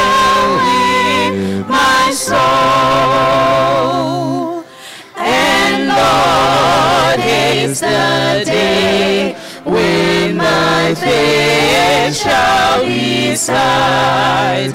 The clouds be rolled back as the scroll, the trial shall resound, and the Lord shall descend. Even so, it is well in my soul. It is well. It is well with my soul. It is well. It is well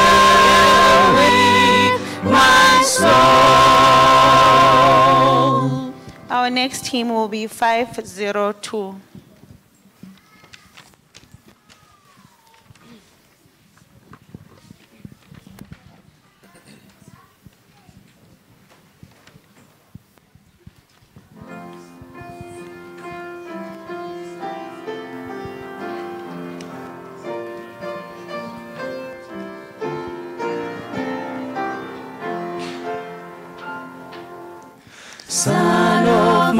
Soul, Savior thee.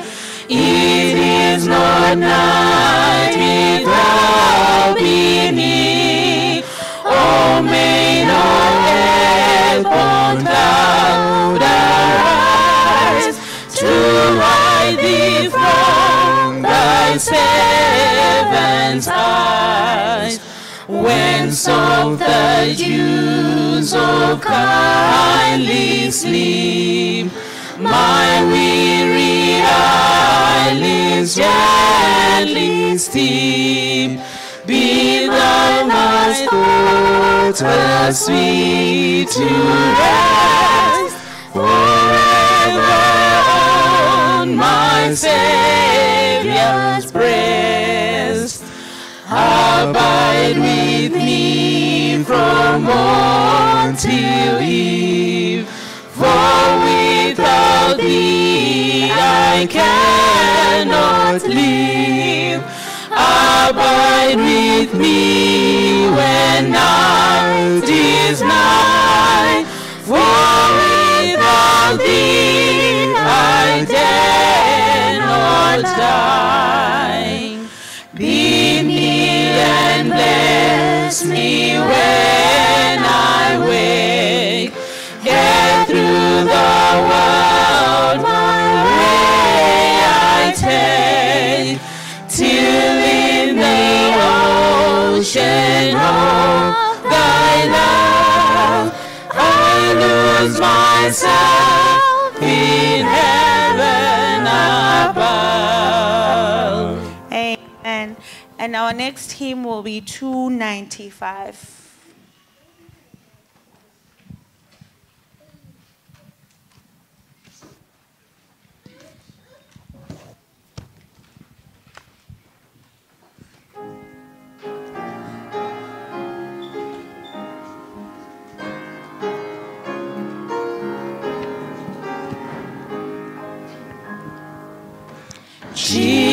Of sinners, though I be, Jesus shed his blood for me. Died that I might live on I. Died that I might never die. As the branches to the vine. I am his and he is mine. Oh, the height of Jesus' love, higher than the heavens above, deeper than the deepest sea, lasting as eternity. Love that found me wondrous thought, found me when I sought him not. Chief of sinners though I be, Christ is owing all to me. All my wants to him unknown, all my sorrows are his own. Safe with him from earthly strife, He sustains the hidden life. Amen. Our next hymn will be 5 0.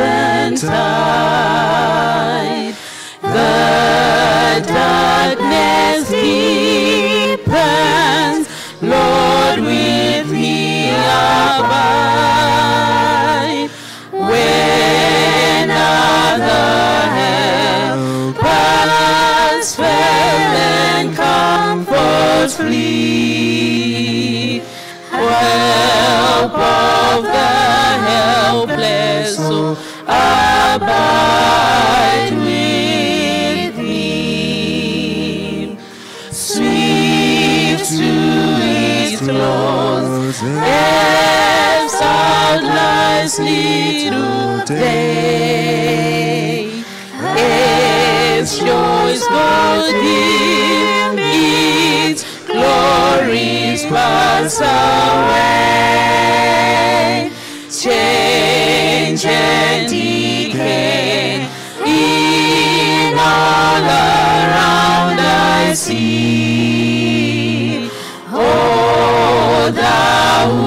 changes not, abide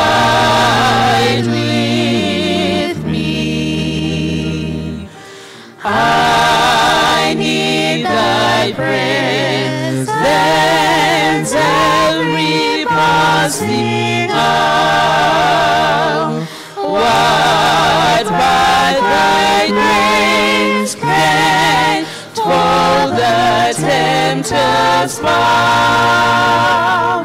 Who like thyself my guidance take and be through cloud and sunshine, oh, abide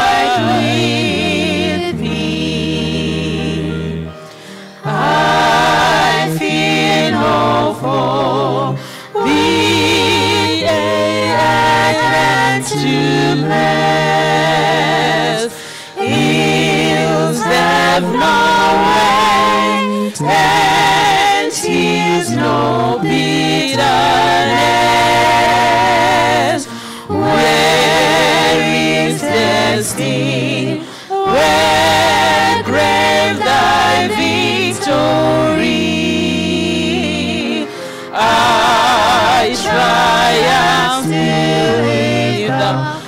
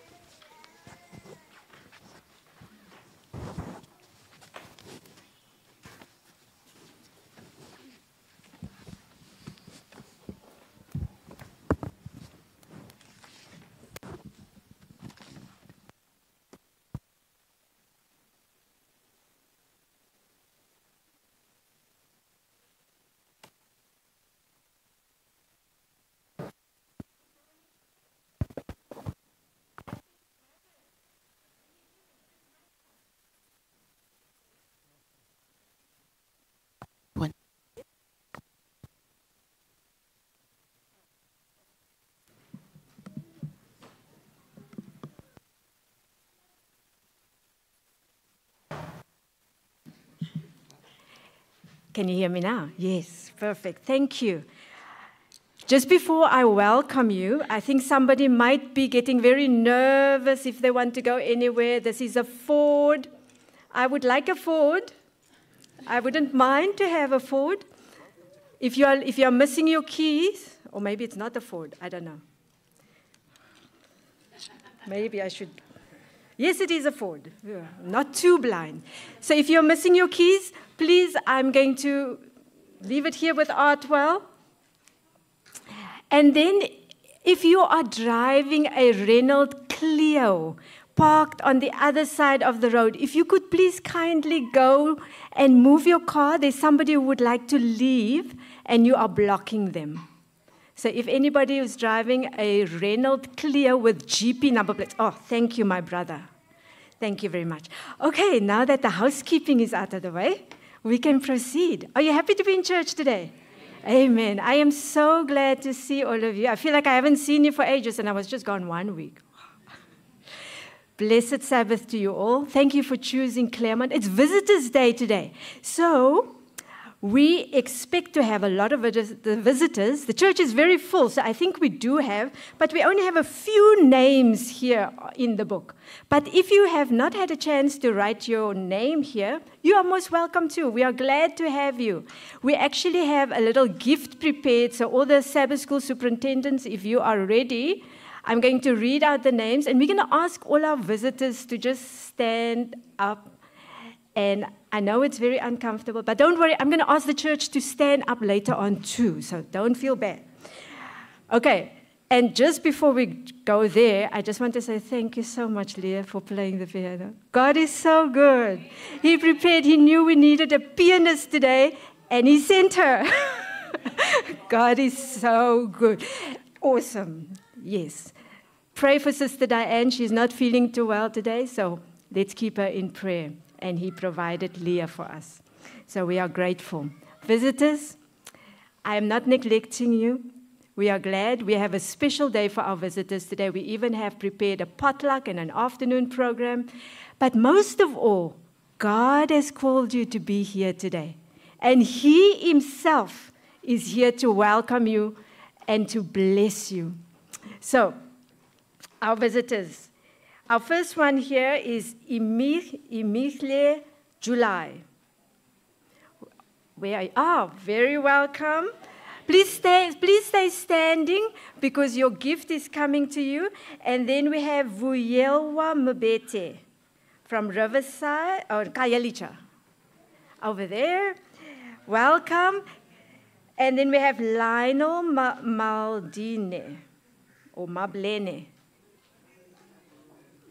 Mablene. Oh, sorry. Welcome. And then Ondele, Ondela Gomba. Ondele, Ondele, Ondela. Oh, sorry. Thank you. And then we have Vuyisa, Vuyisa Nohai. Welcome. Anna Mathe. Anna Mathe. Welcome, my sister. Prince Okay, I'm not even going to attempt this name. There's an X. When I see an X, I get very afraid. Prince, Prince from Westlake. Prince from Westlake? Oh, welcome, welcome. I'm sorry, I do not want to mutilate your name. Um, Mamukeli, Mamukeli Hindueni. Welcome, my brother. And then we have Mavis Tambala from Maitland. Mavis Tambala. Most well, you're most welcome. And if there are any other visitors, any other visitors, if you have not written down your name, please stand up. And the, no, she's not a visitor. She comes regularly. We, we, we just need to get her to sign her name. a, a few guys who need help, please stand up. Okay, now, church members, you were very naughty. You didn't greet the visitors. I saw nobody shaking their hands. Now you have to all get up because it's Visitors' Day. Church members, stand up, and we're going to sing Tis Love, Tis Love, Tis Love that makes the world go round. Do you know that? Tis love, tis, wait, this makes the world go round. Thank you.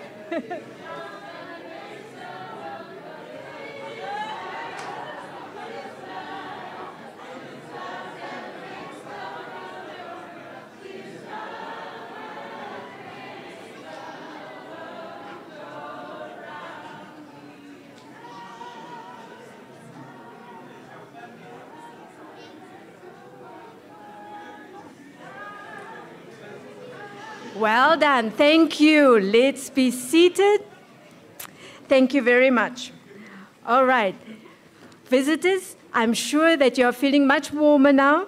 Make sure to also make them feel welcome during the lunch and after the service. Um, just, um, Tandeka, I'm not sure, there, is there a video for the announcements? Yes, okay.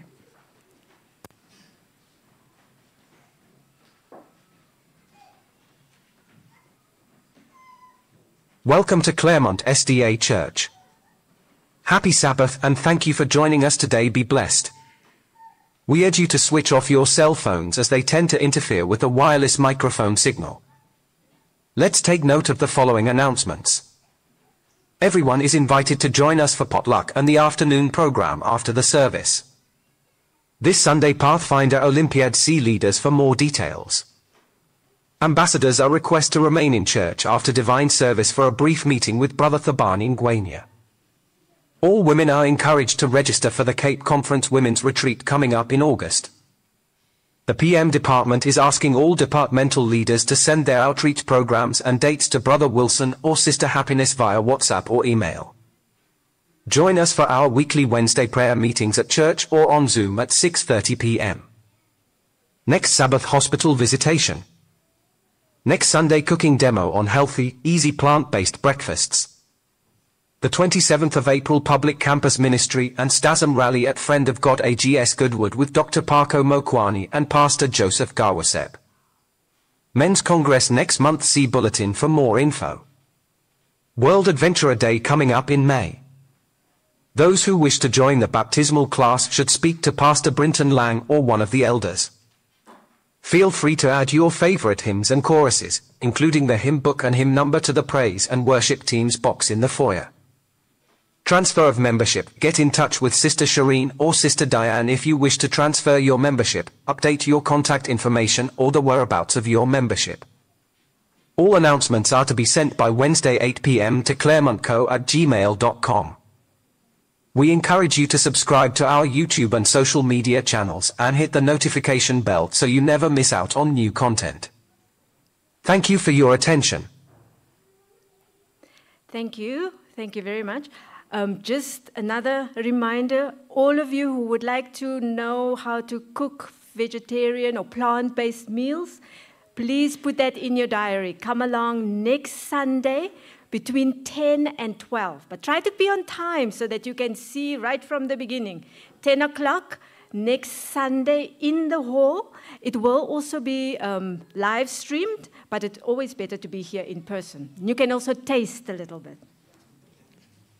Our call to worship this morning is found in Hebrews chapter 13 and verse 8.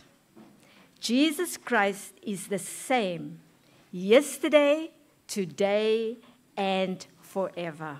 Amen. We'll continue with our worship service at this time.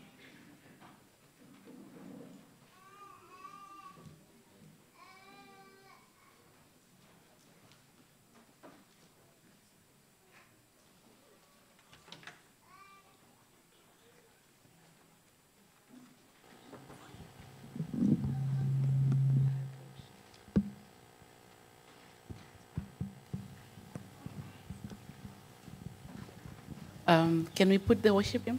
Okay, thank you. 495.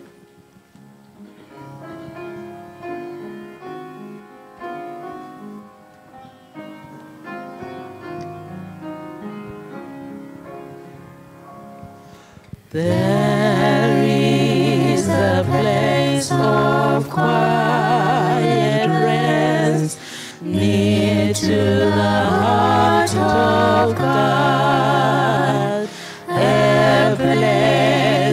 place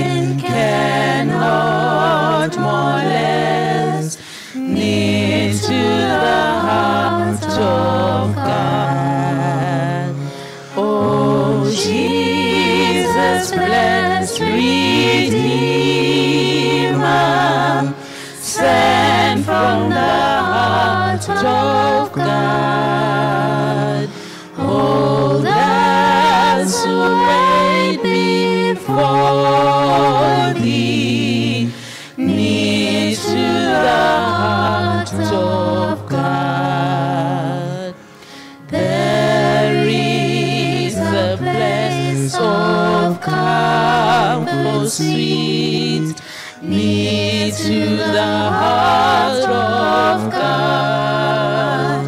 A place where we our Savior meet, near to the heart of God. Oh, Jesus, blessed Redeemer,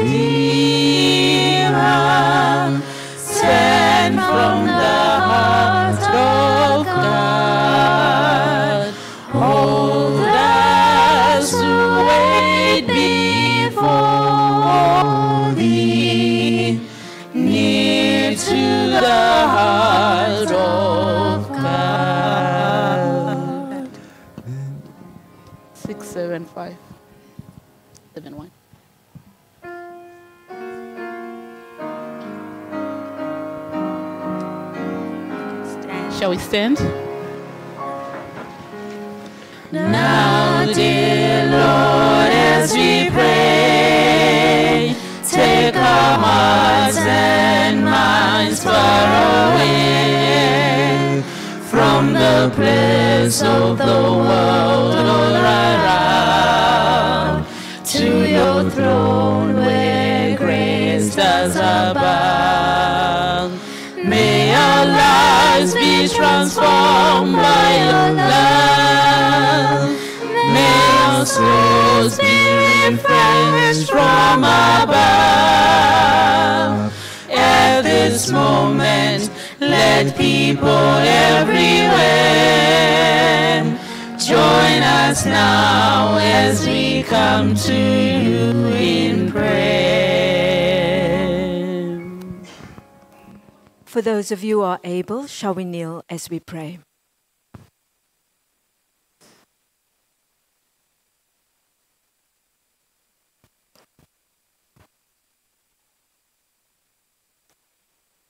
Thank you, blessed Father in heaven, that we can be back in your house of worship today.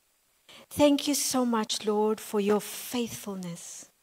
Oh, Father, how we were reminded in the lesson study that you are our God.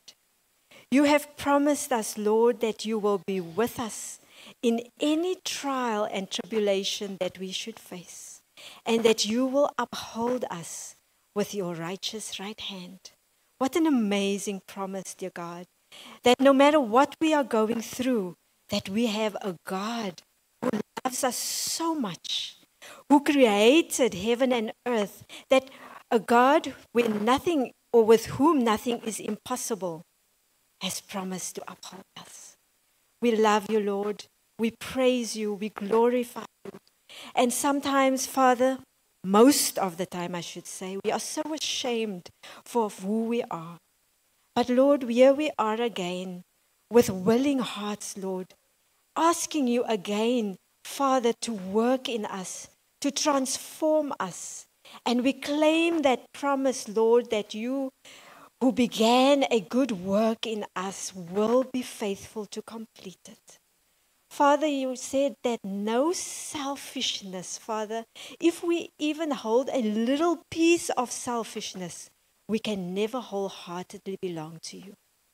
Oh, dear God, so we give ourselves to you today to ask you, Lord, that you may do whatever it takes. Whatever it takes, Lord. You know our hearts and our minds, so we invite you, Lord, to search us and reveal to us what changes that still need to be made in us. Dear God, thank you that we can trust you with our lives, with our future. You made a promise to us where you said that you have plans to prosper us and not to harm us. Father, you are a faithful God, promise keeper. Lord, there are people here today, your children, Lord, who have come up with a special need. A special need, Father, that needs to be taken care of, that only you know how. So we commit them into your hands, Father. We pray that you may comfort those who have lost loved ones today. We think of Sister Audrey van Schoor's family, Father. We pray that you may comfort and strengthen them. That they may know that you have not left us without hope, but we have hope in the resurrection morning. Father, there are those here who are struggling because of unemployment. Lord, we pray that you may be faithful unto them. May they know, dear God, that you said that look at the lilies of the field. Who takes care of them but you? You know the hairs on our heads. You know when a sparrow falls. You know what we need, dear God. May they know that you will never leave them nor forsake them.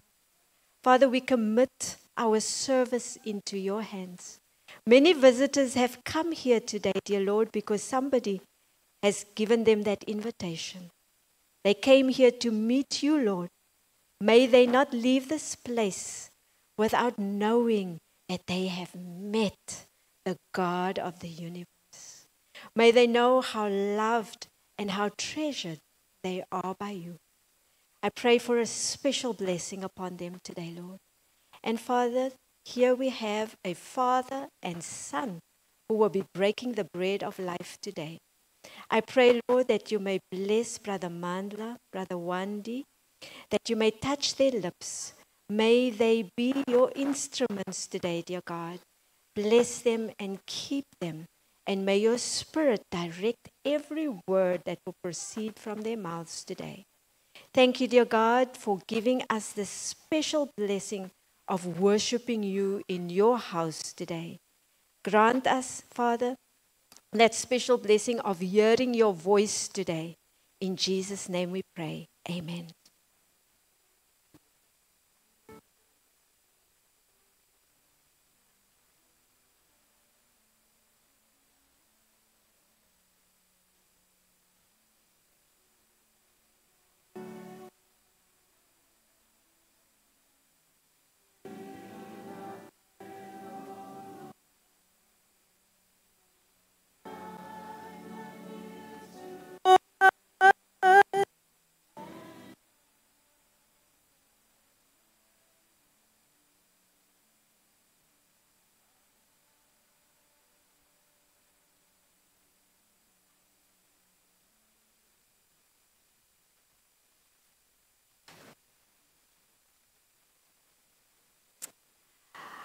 It's time for our stewardship reading. I'm not sure if the video is working.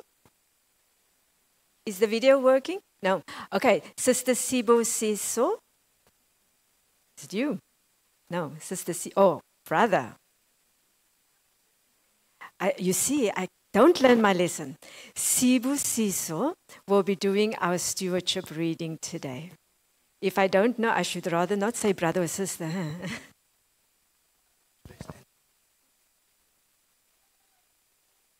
Good morning and happy Sabbath, church.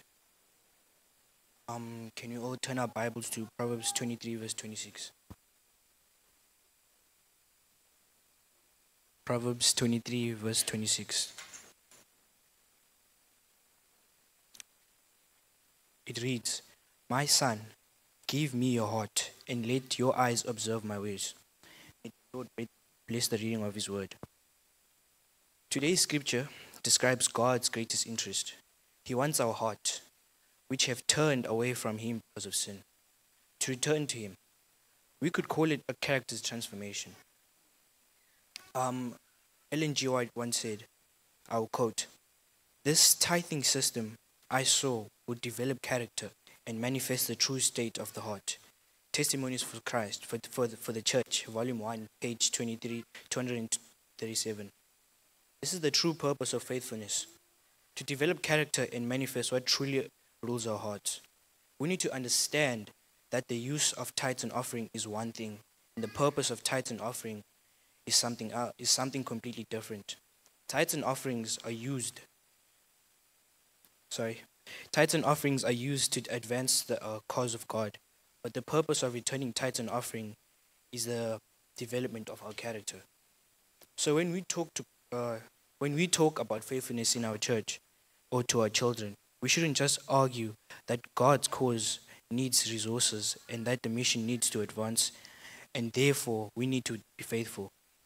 What we really should emphasize is how selfishness takes over our hearts when we're not faithful to God. Imagine a child receives a child who receives an allowance of ten dollars from his parents and returns one dollar of tithing and another dollar of offering. Over five years, that child will have returned sixty dollars of tithe and another sixty dollars of offering. This money certainly will not cause a great impact on the preaching of the gospel. Will certainly cause a great impact on the preaching of the gospel in the world, but is capable of causing a great impact on the character of, of this child over five years. What is most important to, uh, to ask God is not the monetary difference about offering will make, but the difference it will make in revealing where our treasure truly is. Therefore, I am faithful not because I will get something back, not because God's cause depends on me, but because I understand the role of faithfulness in transforming my character. Um, and the deacons and deaconesses, that's an offering.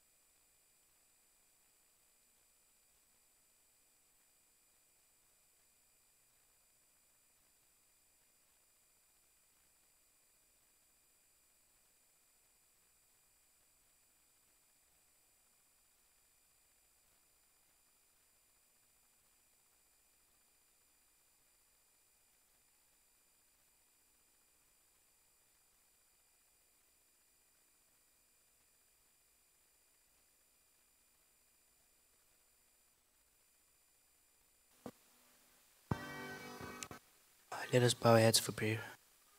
Our, Father in heaven, we'd like to thank you for this day you've given us. We'd like to thank you for being with everyone that gave and those who didn't give anything. Uh, please uh, bless the offering that everyone gave today. Please uh, bless the preachers that will be speaking today. That when we leave this place, we say, God truly spoke today. I pray in your precious name. Amen.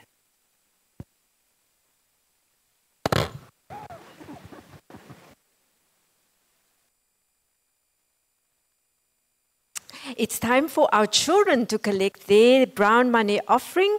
So please um, take out your buckets and baskets and go collect your offering for today. And then we'll have the children's story by Brother Mandla.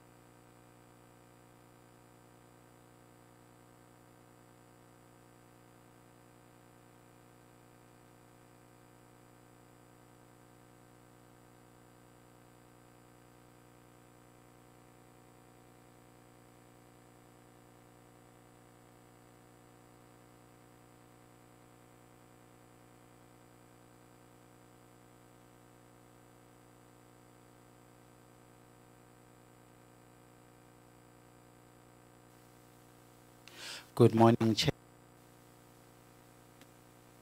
Are you happy to be in church today? So then let's try it again and you say good morning with joy and energy, right? Good morning, church. Yeah, that's better. Who would like to pray for our service before we start? Okay. Let's close our eyes.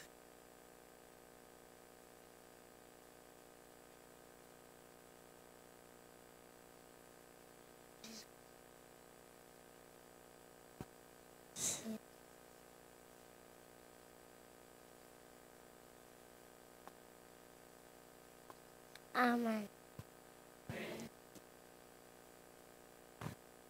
Okay, so God also hears silent prayers, right? the only one who doesn't hear silent prayers is the devil, right? You should know that. Okay, right. So today's story, I thought I was going to tell it from up front there when I'm preaching because it's part of the sermon, but I'm going to tell it now. So um, it's a story that came out in the late 80s, early 90s in the Reader's Digest. There was a girl, I've forgotten his name, so we are going to have to give her a name. I've forgotten the name, it's an old story. What do we give the name? Um, ah, this class. Ah, I like I like a class that's checked up. Sarah, right? So the parents of Sarah, the mother had been pregnant. How long do people get pregnant, by the way? Oh, yeah, you do know that. Okay. All right. Okay. All right. So she had been nine months pregnant and they were expecting. They had already prepared a room for Sarah. Everybody was happy. It was their first child. And um, I think they knew it's going to be a girl. So, what colors do you think were in the room? Pink. Okay. Pink. Okay. Did anyone say green? Okay, right. So the, the room was pink and they prepared everything the curtains, the covers, everything was beautiful. Then the time came for the mother to go to the hospital to deliver Sarah. So they went with the father and they were there, and the mother was in labor. Do you know what labor is? What is labor? What is labor? Okay, so the mother was in labor. The mother was in labor for a while, and then the baby came out. And when the baby came out, she didn't, she didn't cry. The father was close by. One look at Sarah, the father was disappointed. She turned backwards and she was walking in disappointment, complaining, throwing her hands all over. Do you want me to demonstrate what she was doing? The father was doing. You want me to demonstrate? No, you were not you were not participating too much. Okay, I'm gonna demonstrate. He turned around, looked at the face, and went, Oh no, no, no, God, no, why? Why? Oh, why? He was complaining, pacing all over. The doctors tried to calm him down and say, Say, say, say, no, no, leave me alone. No, no, no, no. This is not okay. This is not okay. He complained and moved about and was so sad, and his face was so sorrowful. Do you know how to have a sorrowful face? Uh, someone show us a sorrowful face. We need a sorrowful face. Okay, all of you, sorrowful faces. Sorrowful faces with a smile. Okay, so the face was so sorrowful and sad. And then the story comes out. Sarah had an advanced case of what they call cleft and leaf palate. So, cleft palate and cleft lip. So, it is the top lip and it is the palate on the upper part of the mouth. It was cracked wide open.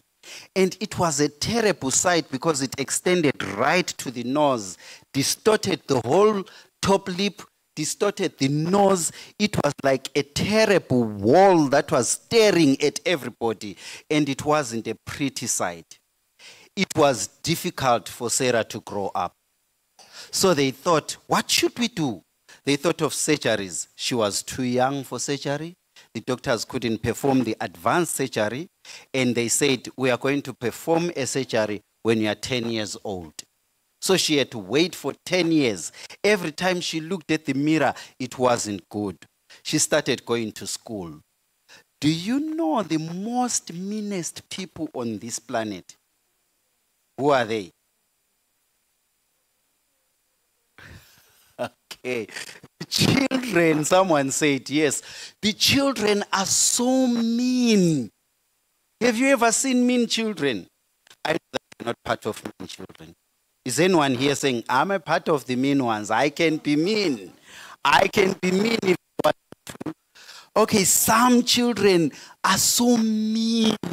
She would go down out to play and they would tease her for her face and laugh and make it a game. She was uncomfortable to go out. She was uncomfortable to stay home. She was uncomfortable to look in the mirror. One day she made a prayer. She said, Jesus, I would like a new face.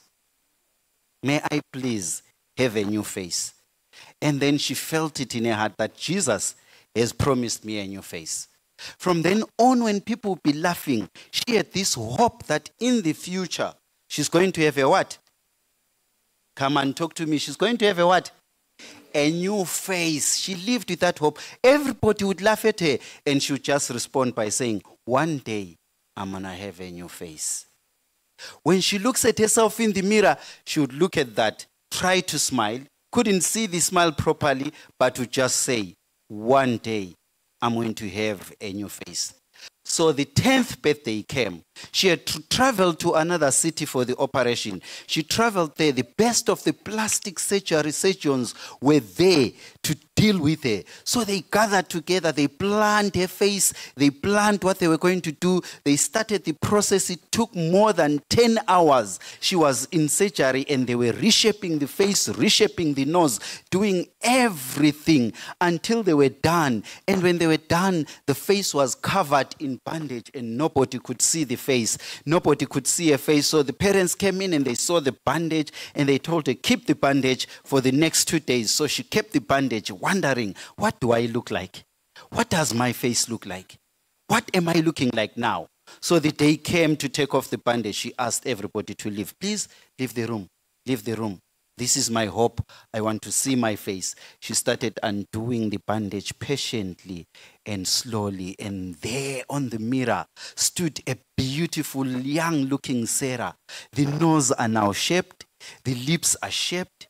The great hope has been fulfilled. She's got a new face, tears running down her eyes. She starts to thank Jesus. Thank you for the new face. And then she smiles for the first time. She can be able to see a smile. Smiles from here to there. Smile, smile, smiles. You wanted to smile when I wanted a serious set face. Smile now. Some of you can't smile. You have gas. Right, smile. Come on, smile. Right. So she smiled for the first time and she could see her smile and she thanked Jesus for the new face. Now, for 10 years, she lived on hope alone. That she's going to get what? A new face. How many years of hope? 10 years of hope, looking at that terrible face, hoping for a better face. We also have a, a, a great hope that we have. Does your Bible and my Bible say that in a moment, in the twinkling of an eye, we shall what? Ah, you don't know that verse. It's in First Corinthians 15. You didn't know it. Ah. Okay, okay. It says, in a moment, in the twinkling of an eye, we shall all be changed. Right. In a moment, in the twinkling of an eye, we'll be changed to be caught up with Christ together to the kingdom of heaven. So we are looking forward to that when we shall be changed, when we shall look like Jesus, when we shall go to heaven. Who wants to live for that hope of being changed? Unless you like what you look like. Maybe some people like what they are, so they don't need any changes. Maybe the changes are not just the face, maybe the changes are also the heart. Maybe the changes are not just the heart, maybe the changes are all the bodies that we have. Some have diseases and some have different things, but we shall all be changed. We will not all die, but we'll all be changed. Who wants to live with that hope of change one day? Like Sarah living with the hope of a new face. Can someone pray for this hope that we have to live for? in the coming future. Who wants to pray for this hope for all of us? The children are lifting up their hands. They are saying, I want to have a new life. Um, shall we close?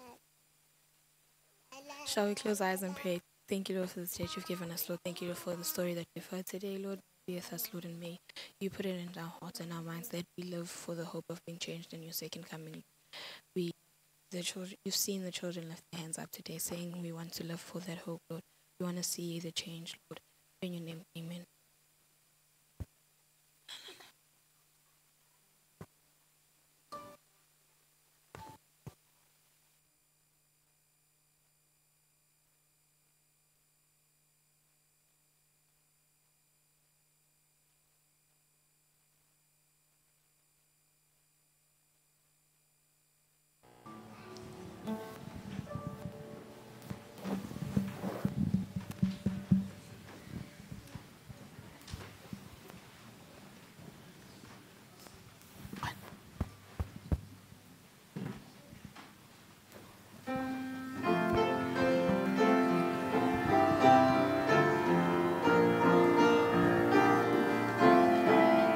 Shall we stand?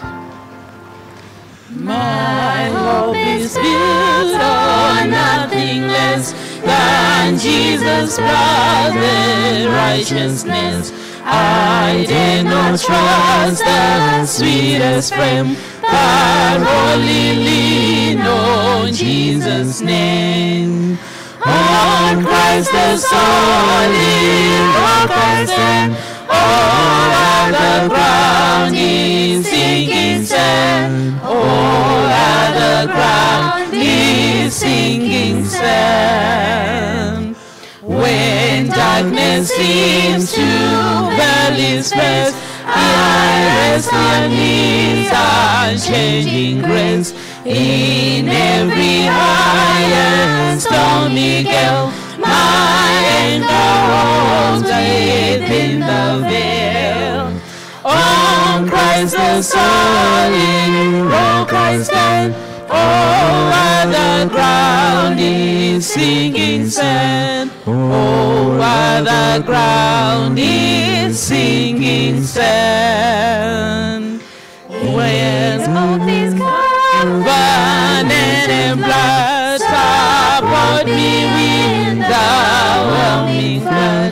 When all around my soul gives way, He then is all my hope and stay. On Christ the solid rock I stand.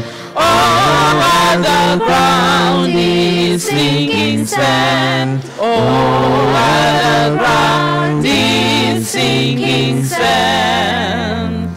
When he shall come with trumpet sound, oh, may I then in him be found, clear in his righteousness alone, faultless to stand before the throne.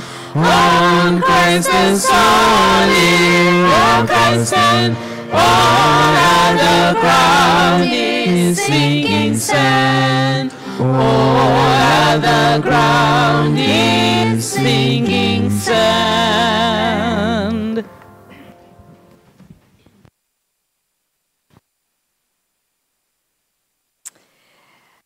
Thank you. Thank you, everyone. I just see Sister Penny and Brother Andre walked in. This is Auntie Audrey's daughter. And I just want to express on behalf of our church our deepest condolences to you. Auntie Audrey will be sorely missed. She was a big part of our family when she was here. I remember the two of us used to live in Milnerton together. And we would take turns to drive. I would say, Auntie Audrey, I will come and pick you up for prayer meeting. She said, No, no, no, no, Shireen. I have a car, you have a car, so we'll take turns so that we can both use our wear, of, wear and tear of our cars. she, she always wanted to be fair. And everybody here would remember when she, she would like, she liked to speak Xhosa. And so that is how many people remember Auntie Audrey. So may God comfort you and strengthen you. He always knows best. And we know that we trust His timing. So may God bless you. Next week would have been her birthday on the 21st. And we are going to have a memorial service right here at Claremont Church. What time is it, Penny? Sunday afternoon. We will tell you more on next Sabbath. So may God be with you. Our speaker for today, you heard him in the children's story. While, while one of our speakers, you may stand up, please. Brother Wandi. This is the son. Father and son. They decided to, to be the empty vessels today to be used by our God. They are from Riverside Church, and his name is Olewande. Oleta- oh, you see, that's why he said to me, just call me Wandi. so may God bless you as you speak to us. We are looking forward to the message that God has laid on your heart. So just before they speak, we have a special item. So the group that sings with Brother Mandla, can you please come to the front? We are going to hear a special item at this time.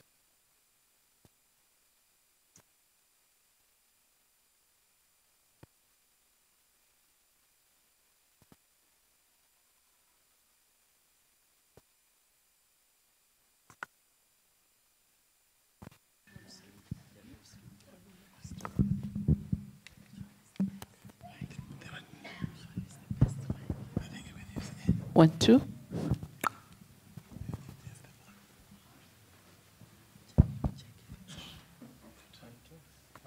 One, Two. One, two.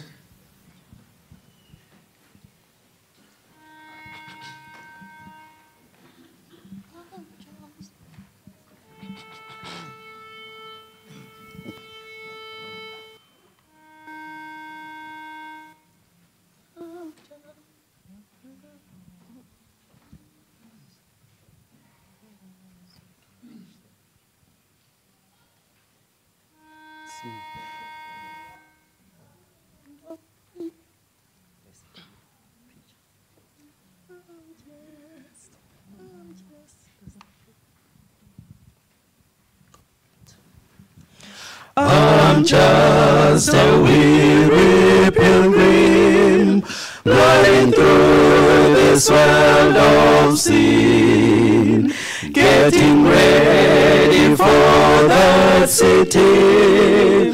When the saints come marching in, come marching in. When the saints, come marching in, marching in. When the saints come marching in, come marching in. Oh Lord, I want to be in that countless number.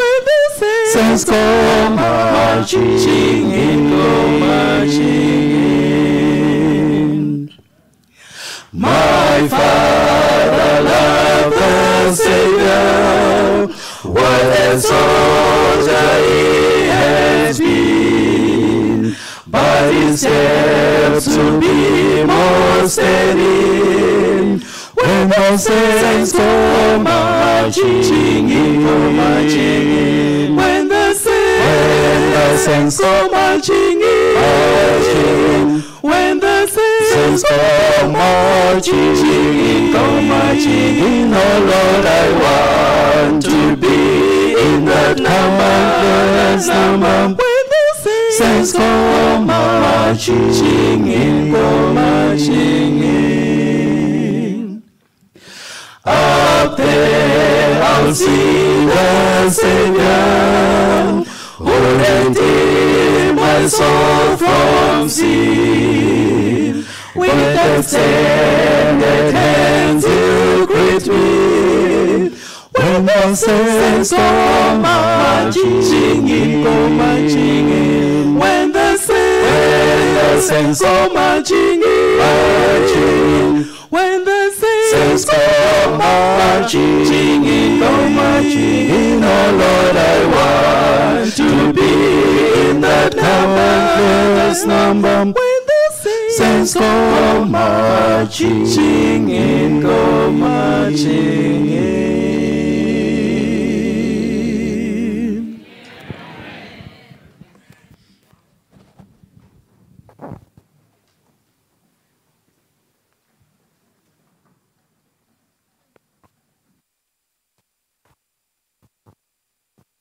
Morning, church. Indeed, it is good to be in the house of the Lord, isn't it?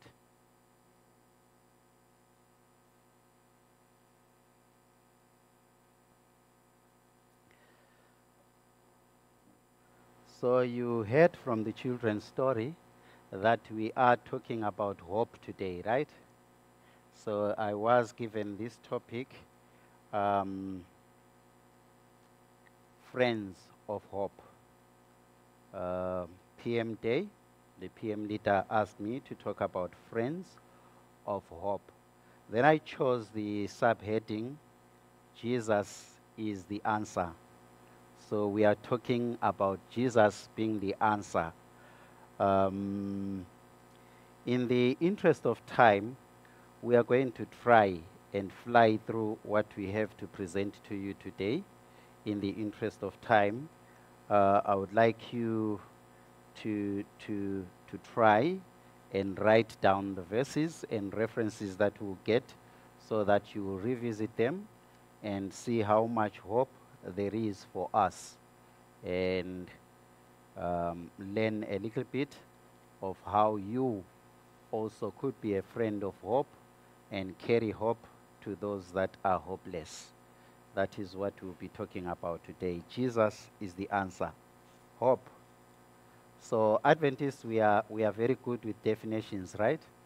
If I were to ask it to go around now and I ask that we go around and define hope and how it is different from faith, I'm sure I will not preach.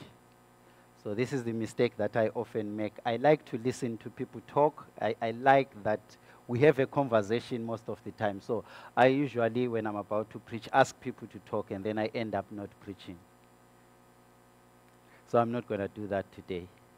But I'm going to ask you to smile a bit because I'm trying to have you smile so that I can be comfortable up here. It's not easy to be here, especially when the church is angry. All right. Okay, so hope. I, I went to Wikipedia because it's the easiest place to find a definition, isn't it?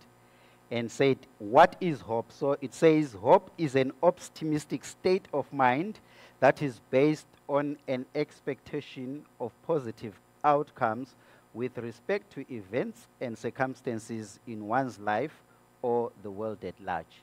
So hope is a positive, optimistic outlook to the future. That's what hope is basically what it is. So as a verb, its definition include expect with confidence or to cherish and derive, uh, to cherish and a desire with anticipation. So that's how hope is defined. To have a future outlook, to cherish something with anticipation, to look forward to something happening, to positively expect it to come right. Not a difficult concept, right? Or how hopeless we spend our lives in. How much this feeling eludes us. How much this outlook eludes us in so many things that we do, that we live our lives with a state of hopelessness. We look to the future with so much discouragement to the point that we mess up the present because of the fear of the future. Am I right?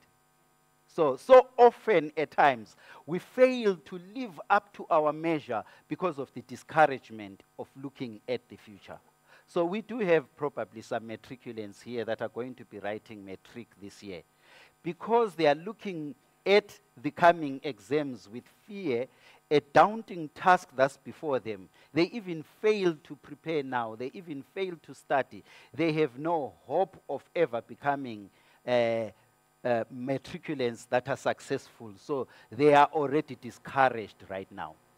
We have some university students that are going to be writing exams at the end of this semester if we are at the beginning or where, I don't know. Universities differ.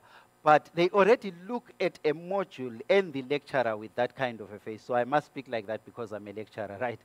Uh, with that kind of an eye that the lecturer doesn't bring any hope at all, and there is no hope for me in this module. Well, speaking as a student, I sat in class where the lecturer spoke through and I had nothing. The whole semester. He was speaking, but I wasn't hearing.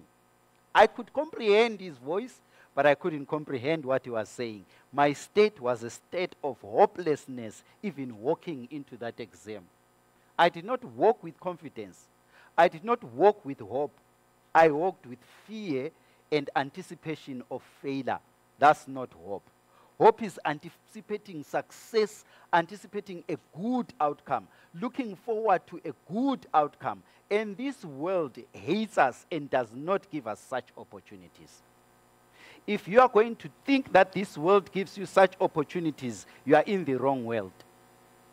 That's where I think the term you are in your own world came from. Because if we are in this world that I'm in, it does not like us and it has no hope for us. There is nothing hopeful for us. All outcomes are play and they are wearisome. They are not desirous. If we look into the future, there is not any great hope at all. If you think about how this world will end, the most dangers that are around us, with all this degradation in the environment, there is no hope for this world. I don't know, maybe where you stand, you see a lot of hope. When I look at the outlook of this world, I don't see any hope. We have people that are dangerous, even lying in wait to take advantage of the weak at work, in life, everywhere. There just isn't enough of hope at all in this world. There is so much hatred. There is so much seclusion and, and, and there is so much of it that there is no hope at all in this world. In fact, some people have given it three categories that the situations that give us hopelessness in this world are categorized under attachment. Attachment is where you hope for physical proximity, where you hope for intimacy and emotional bonding, for spiritual unity. Right? Do you see how we are already failing? We speak of spiritual unity. Are you serious? We divide ourselves up uh, among the haves and the have nots, even in church, right? We divide ourselves among those that claim to be pretty and beautiful and handsome with those that claim to be ugly. We divide ourselves by those that are tall from those that are short, those that can sing best and those that talk the song. We divide ourselves in so many ways those that can preach and those that can't even stand a sermon. We divide ourselves, we are already divided. There is no hope of any bonding, of any togetherness in this world. And yet, some lose that sense of attachment. Maybe by alienation, people just seclude you and put you separate. Maybe because you are different from them. They just put you in your place right there, and you feel you belong and you lose hope because there is no attachment. You may say, No, me, I'm fine, I can be alone. You are just lying to yourself. The maker of this world, the God who is used to saying, This is good, said, It is not good for you to be alone. Right? He said so. He said four times in the Bible, It is good, it is good, it is good, it is good. Then he turns around and says, This is not good. So the first time God said something is not good is that you are alone. You need to be attached to someone. You need to form relationships of bonding. Hopelessness comes from people that are alone, that have no attachments, that are left on their own with no one to care, with no one worried about them. Eh, They have been forsaken. Maybe it's children, maybe, maybe it's a spouse, maybe it's a friend, maybe it's a relative having been forsaken, left alone without attachment, they've put that category one. Category number two that they've put is mastery. Hopelessness because someone cannot master anything.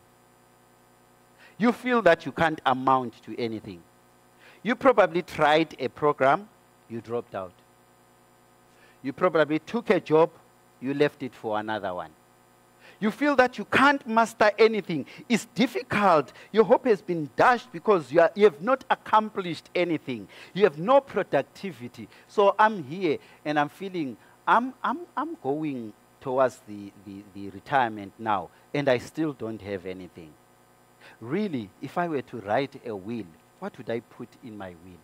And then that dashes my hopes, it destroys my outlook for the future. I have no better look for the future, and I am discouraged and I have nowhere to turn to because I lack any inspiration to achieve anything. I have no creativity. I find that I'm powerless. Maybe I've been oppressed. Maybe I am limited. I feel limited. I feel incapacitated. I feel unable. Then my hopes are dashed. Are you still here? Right. Situations of hopelessness. Hopelessness because of survival. Feeling that I can't survive. I've got so many challenges. Maybe they are physical, maybe they are emotional, maybe they are spiritual. So much anxiety, so much loss and fear, failing to build resilience for anything, feeling a sense of being doomed, a sense of being a captive, helplessness, without hope, buried down under, feeling I will not survive this, threatened, my very core of existence, my very existential self with an existential crisis can bring hopelessness. Some with chronic illnesses, some with chronic stress, others called lifestyle diseases. Some with chronic stress, you keep going back deep into that dark wall. Someone once described it to me. She said to me, I think we need to have a program in church, maybe an office for people that will do counseling because when I'm here, I feel like the ground is shifting underneath me. I feel like I'm continuously sinking down, going deeper and deeper, and light is disappearing from above. I'm reaching out to my hand, but I'm grappling to the air, and I feel like I'm sinking down deep in my heart. I feel my heart sinking down. I have no sense of hope at all, and I do not know where to turn to. She was talking to me directly.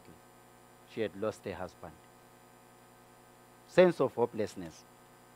And then you will find yourself going back into that state where you feel worthless and you feel like there is no reason to live, there is no future, there is no hope in this place. Where can I turn to? What will I do to get out of this slump that I'm in? We have a lot of things that can cause us stress, a lot of things that can cause us to be discouraged, and some stresses lead to chronic illnesses because now you will have ulcers, now you have a clinical case of depression, and then you have emotional turmoil that's never ending, and uh, you have depression itself, and some people look at you and think, nah, nah, nah, it's just, it's not, it, you're not serious. You know, how can a big man pull blankets when it's so hot? You're not serious. How can you sit and just keep poking your phone and play games only? Can you stand up and do something useful? And the person is in a state of hopelessness, depressed, discouraged, and they think the best thing they can do is to play bubbles on the phone.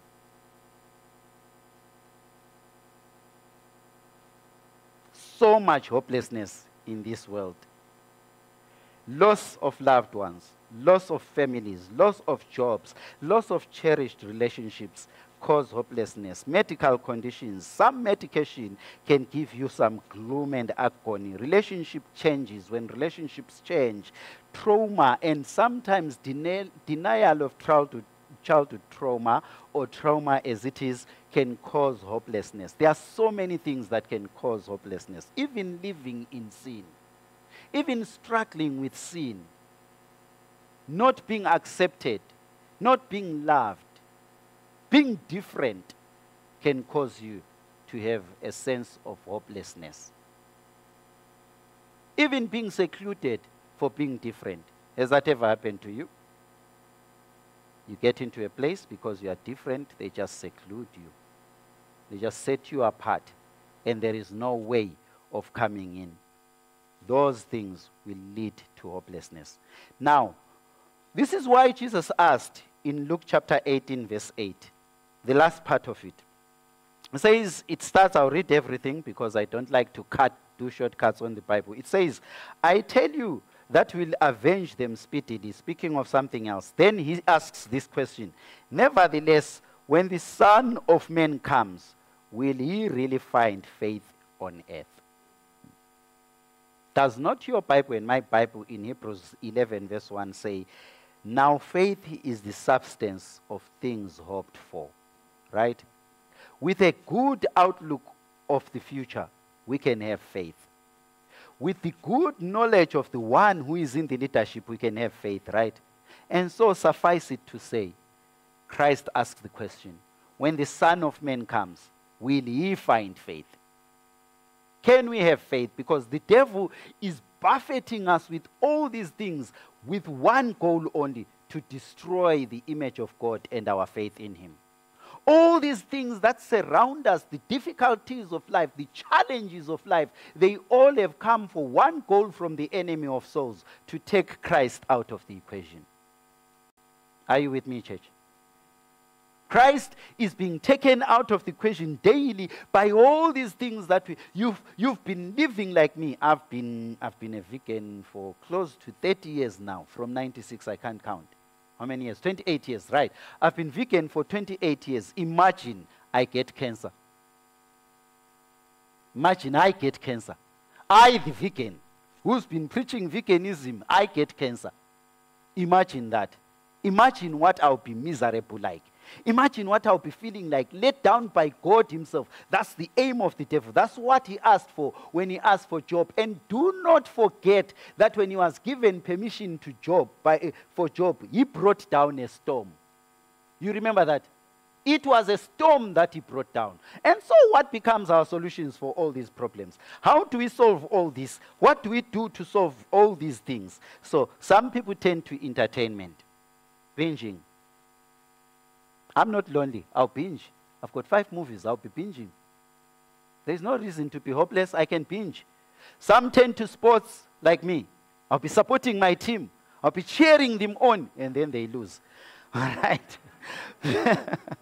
right. Some tend to parties. Some tend to traveling. Some think that fun will inoculate the problem of hopelessness they have. We tend to so many things which we think will take away hopelessness in, in, in the name of entertainment. Some tend to science and technology. They look for medical solutions. They look for gene therapy. They say, Well, I know in my medical history there is cancer. If it's identified early, blah, blah, blah. They tend to medical uh, solutions. Yes, sometimes these things work sometimes temporarily, sometimes they work for a long time. They do work. Some tend to, to, to, to, to, to, to meditating. I will meditate. I'll meditate yoga. I'll do yoga. Some, some tend to say, well, I know that I cannot have a baby. What do I do if I don't have a baby? Surrogate. I look for surrogates, artificial insemination. Well, in the past, Abraham could intend to surrogating, right? He tried that and God said, Take her away. And this child, away, away. I couldn't, I'm not saying surrogating is bad. Listen to my direction. You get it right. I didn't say that. I'm not saying anything else is bad. I'm just telling you what we think are solutions. Right. So some people, instead of kneeling down to ask God to say, Give me a child, because what I learned is that when God wants a strong man, he closes the womb of a strong lady so that the strong lady will pray hard with the husband so that they will get a strong child.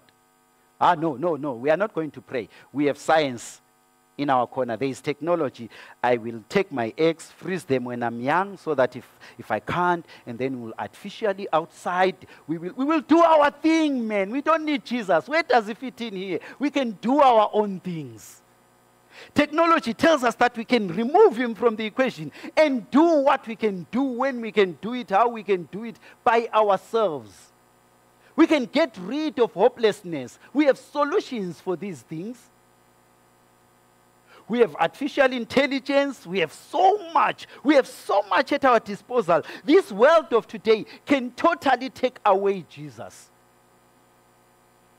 And we have no other answer but what we have People have tried to solve all these things. They can tell you of this root and that thing, and sociology and psychology and philosophical approaches. Others will tend to activism and say, well, women are under attack, GBV, and so I will stand on the streets and fight against it. Or even in church, black people are being marginalized in church. We are going to stand up against that or they speak of a white Jesus, will stand for a black Jesus. Activism as a solution to hopelessness. Favorite with so many people that we take a lot of other things that float about and make them a solution for our problems and turn to things that are temporary to fix a permanent problem. I'm here to tell you this morning that there is only one answer for this world. When it comes to a problem of hope on this earth, there is only one answer Jesus is the answer. I want you to know that you can try all things, it's well and good. Some of them will help you, but you need to know that if you need a permanent solution for any problem that you are facing, Jesus is the answer.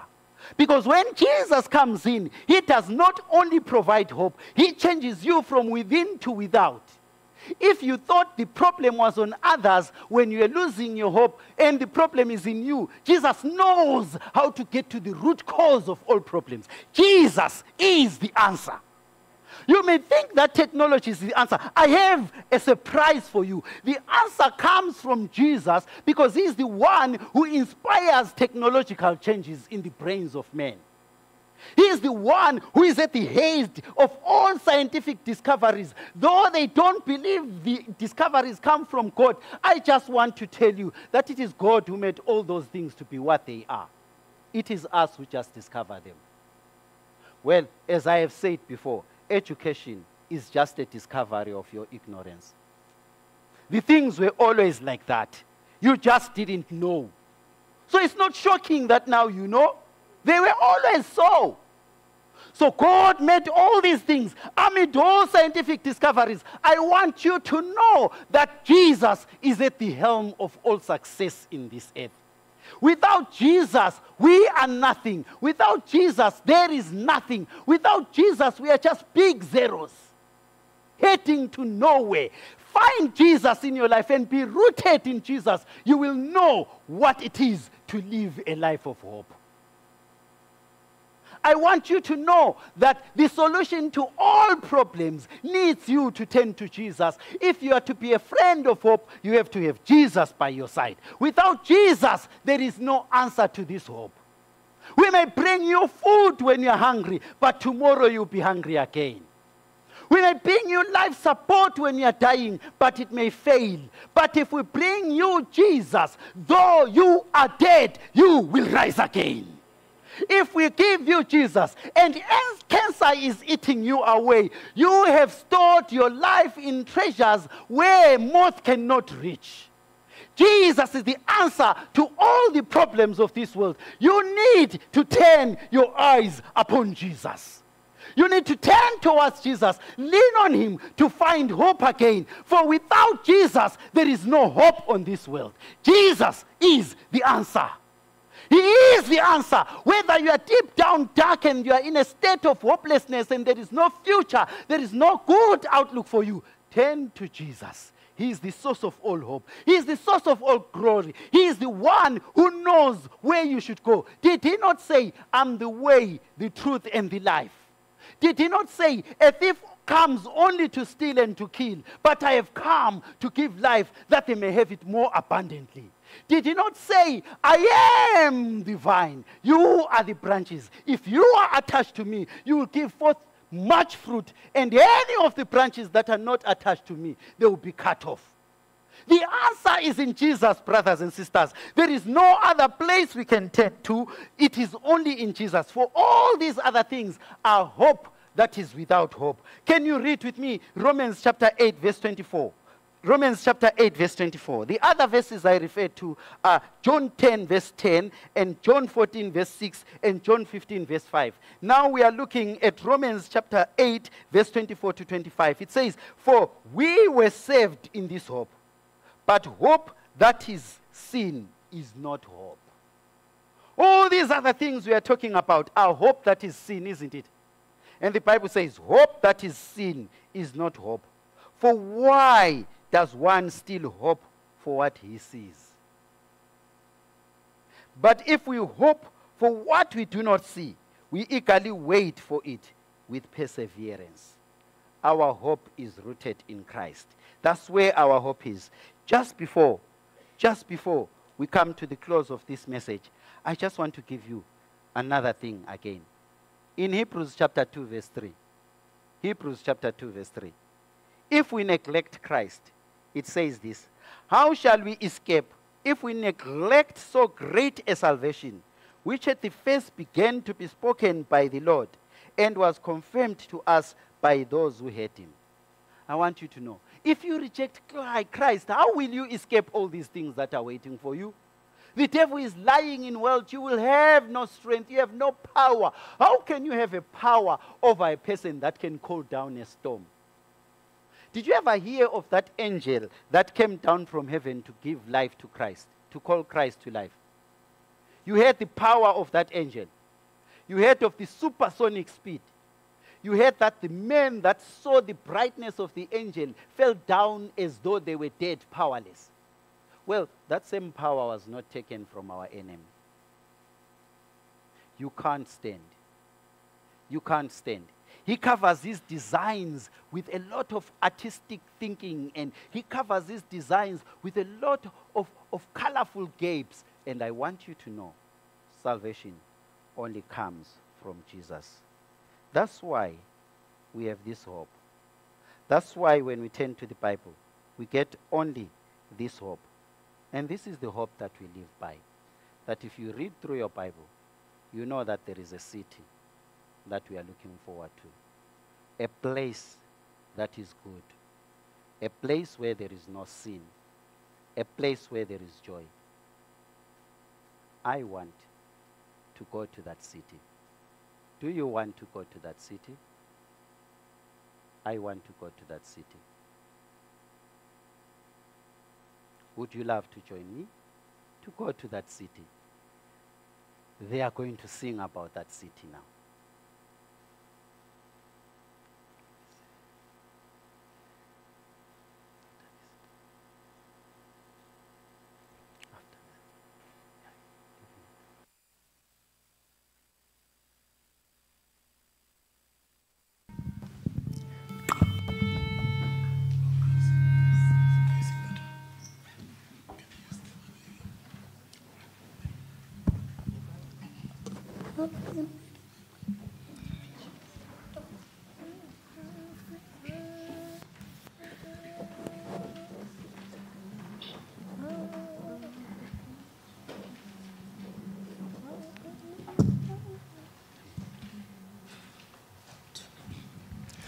I've been reading my Bible.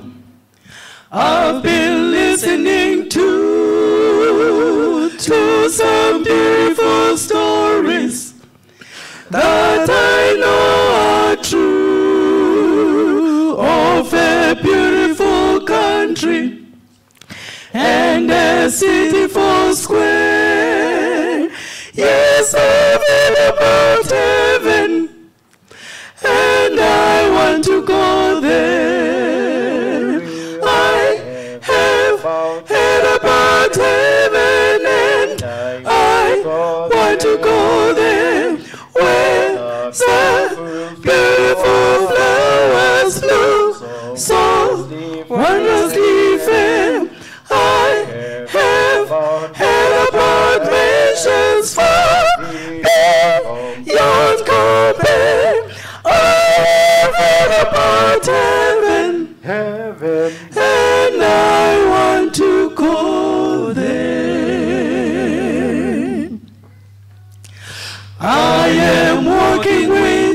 Jesus. Also happy am I, for I own a bright mansion far beyond the sky. Tis a glorious building. It has beauty to spare. Yes, I've heard about heaven, want to go there. Oh, glory, I have heard about heaven, and I want to go there. Want to go there where the beautiful, flowers bloom so wondrously fair. I have heard about nations far beyond I have heard about heaven, heaven, and I want to go there. When my day is over, I'll be ready to go to the city eternal where pure waters flow, where will be no more dying, there will be no more care.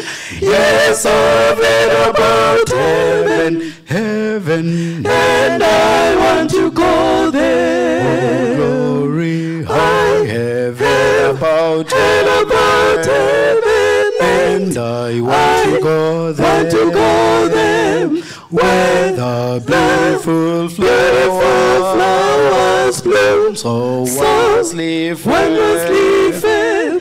I have heard about nations far beyond compare.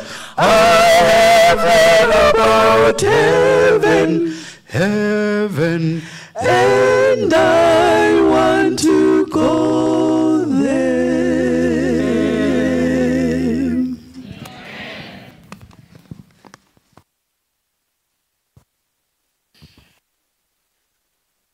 Okay. I've heard about heaven and I want to go there. Personally, uh, I also want to go there. I all want to go there and I want to see all of you stay with me. Okay, so hope. Hope. So before I start with my sermon, I, I want to ask you also all a question.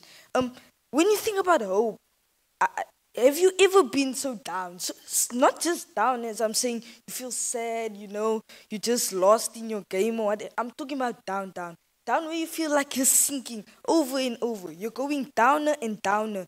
And you try to grab on, you try to climb back up from there, the hole you're in, but you just keep on finding yourself at the exact same place you've been been the whole time. Have you ever felt that way? That way where it seems like it's hopeless. You've, you've lost all the hope that you could ever need. Well, I'm here to tell you there is hope. And the person who will bring you that hope is Jesus Christ. So before I start with um, sermon, I just want to read to you guys a verse. Um, Jeremiah 29, verse 11. 11. Okay.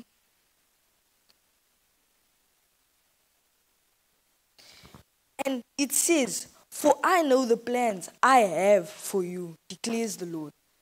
Plans to prosper you and not harm you, plans to give you hope and a future. So, when you read this verse clearly, it says hope, which is the title, Friends of Hope. So, it says here, I, Jesus has plans for you, plans for the future, and plans that will give you hope.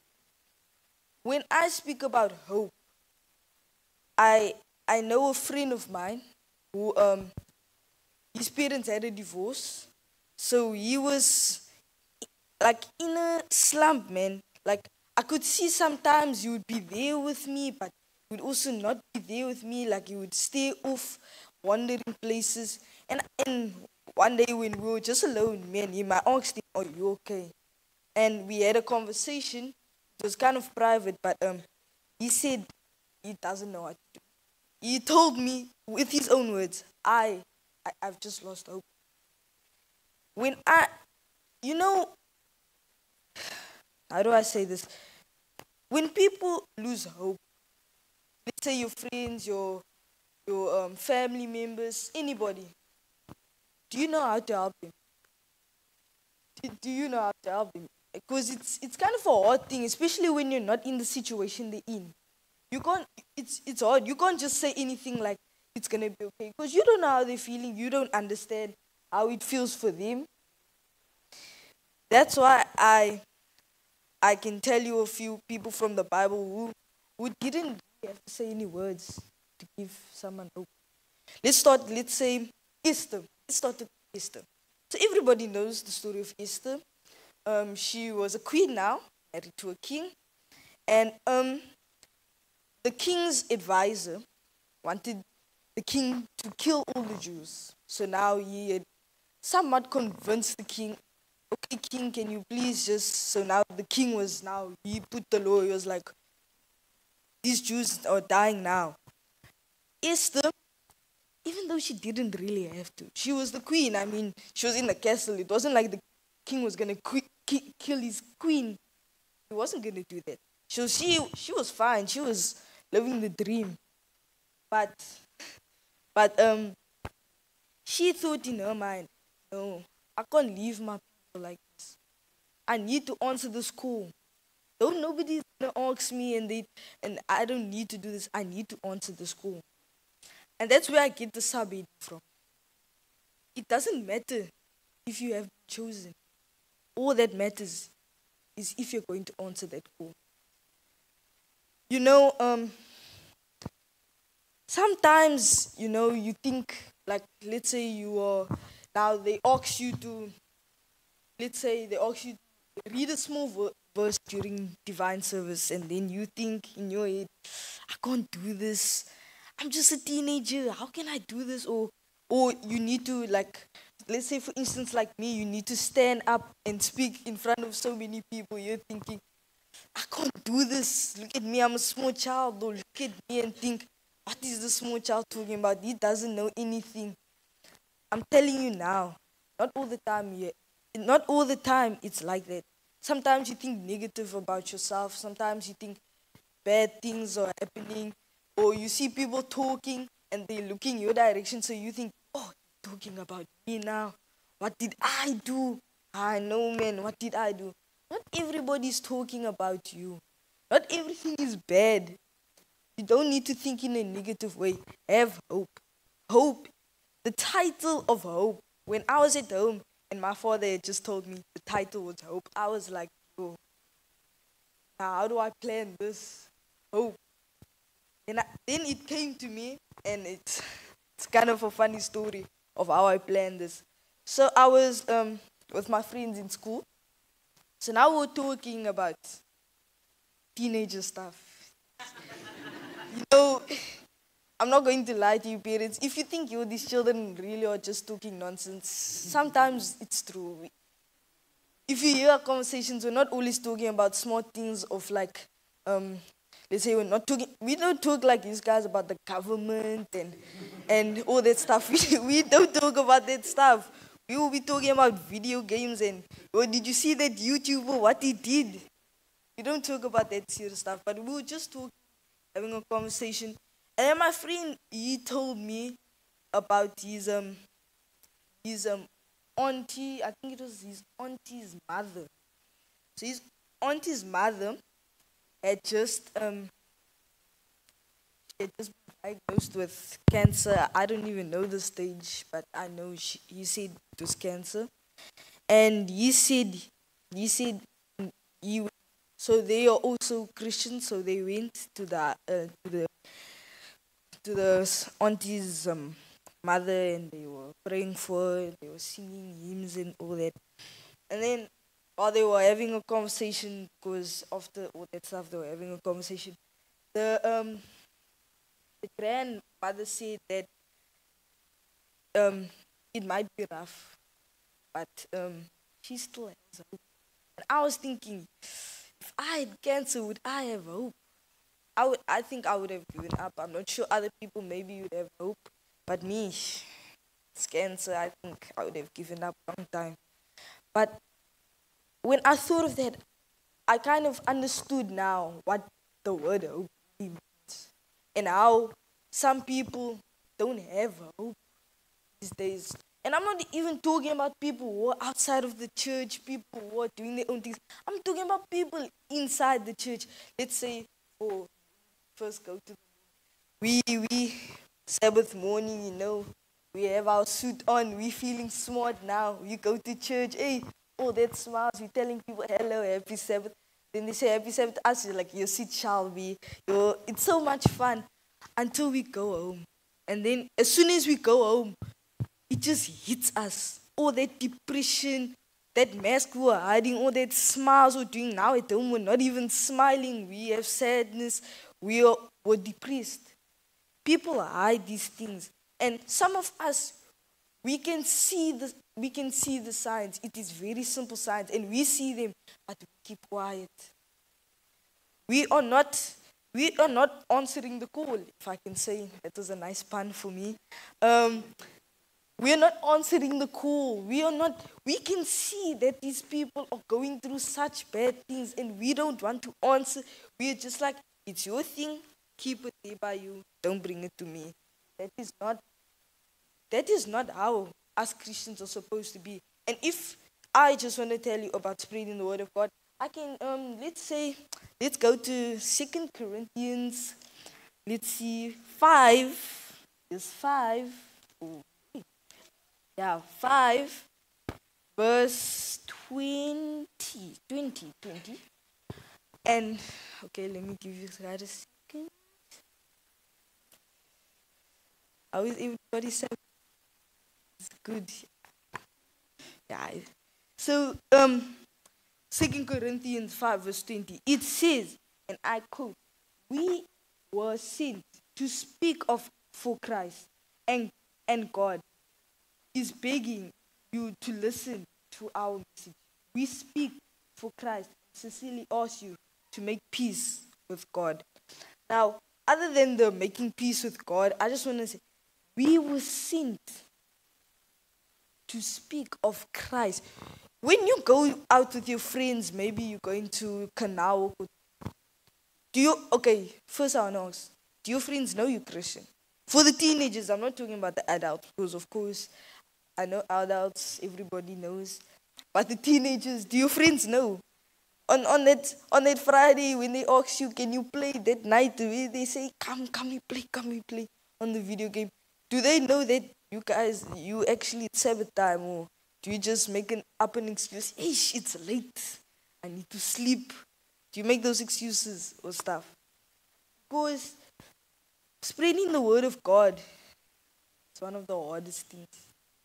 Especially when you in in your mind where you're thinking I can't approach this person like let's say it's evangelism and now you're out with the youth and you are now going and giving pamphlets and stuff. You know, when I went, I was so scared to approach myself. I was so afraid I couldn't even approach. I was so afraid. It's so scary because you you in your mind you think what are people gonna think of? Let me read another verse. Uh, actually, let's since we're on the topic about fear, let's talk about David. So everybody knows the story of, David and Goliath. Um, the giant was speaking um, ill about Jesus, and David had overheard while he was going out, say to his brothers to hand him something, and um, David heard, and now he was he was agitated, I would say, and was angry, and he was like, "No, you can't say that." And then he he went to all the all the um, all the uh, soldiers and said, "You you're letting this man speak so ill about our God." And uh, I I can imagine it in my head that the that the soldiers couldn't say anything. They couldn't they couldn't answer because what are you going to tell a child? Or you are you gonna tell are you gonna tell that small child that I'm afraid? I'm not gonna tell him. So um David fought Goliath obviously and he won. And after that, I believe that um the people they had hope. They were like, ah, I can he prayed to God and he was able to do this thing. So if I pray to God, maybe I can do this. And when I say, when I think of this, I can tell you right now, there is no better person to go and ask for anything than to go to Jesus Christ for. He will help you, even though you've done all your sins, you've done the worst things possibly that you could think of. Think of. I'm telling you, even though you've done those things, you can still go, go to God and ask God, "I need your help. I really need you," and He will answer. Let's go to Romans 10, verse 14 to 15. Romans 10, verse 14 to 15. Okay. And it says, How can the people have faith in the Lord and ask Him to save them if they have never heard of Him? And how can they hear unless someone tells? And how can anyone tell them without being sent by the Lord? The scriptures say it is a beautiful sight to, to see even the feet of someone coming to preach of the good news.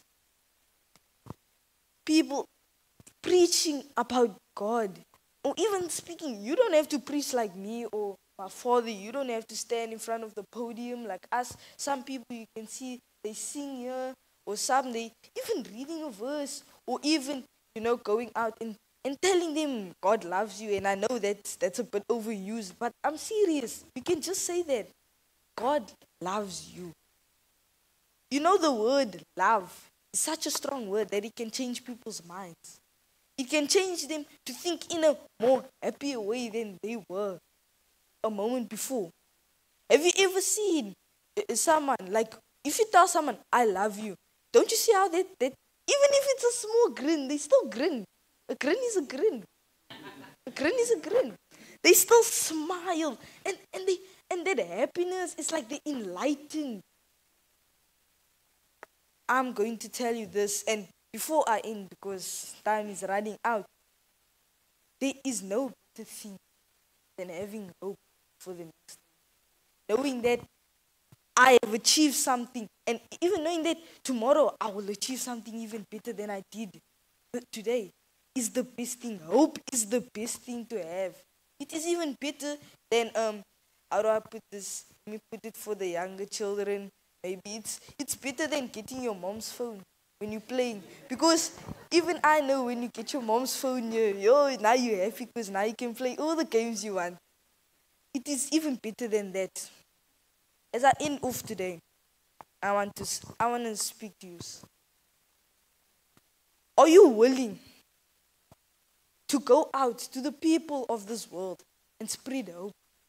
To tell them that there is a God up above who is willing to help you and me that loves us. Because if you are, I would invite you to stand with me. Because I am the one. I have said it, and I will say it again.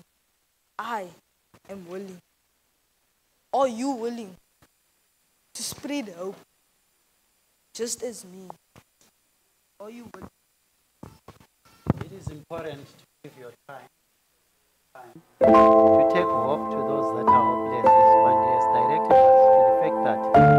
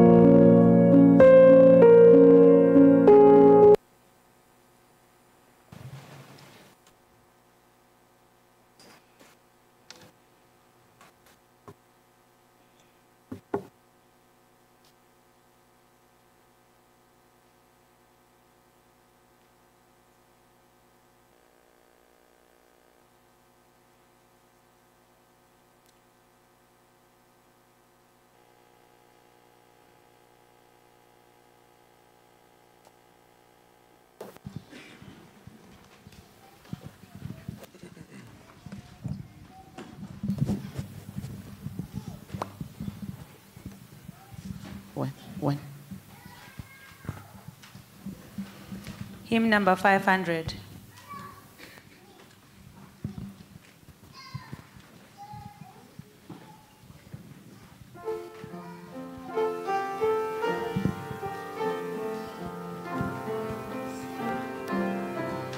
Shall we stand?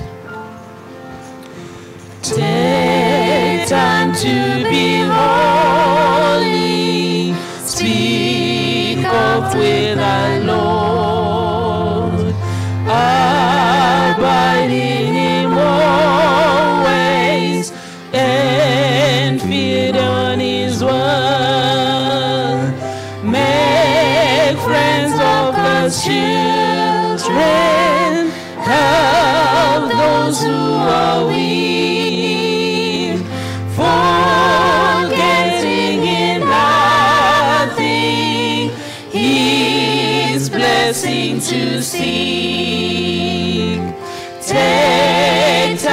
to be holy. The world rushes on. Spend much in secret with Jesus alone. By looking to Jesus, like him thou shalt be.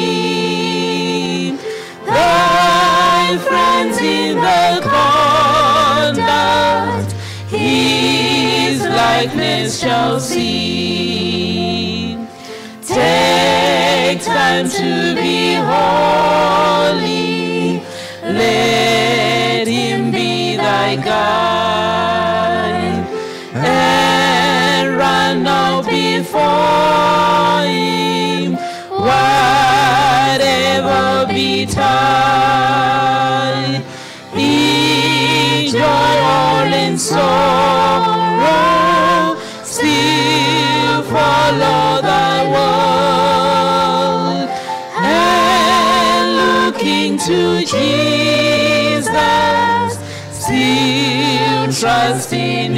his.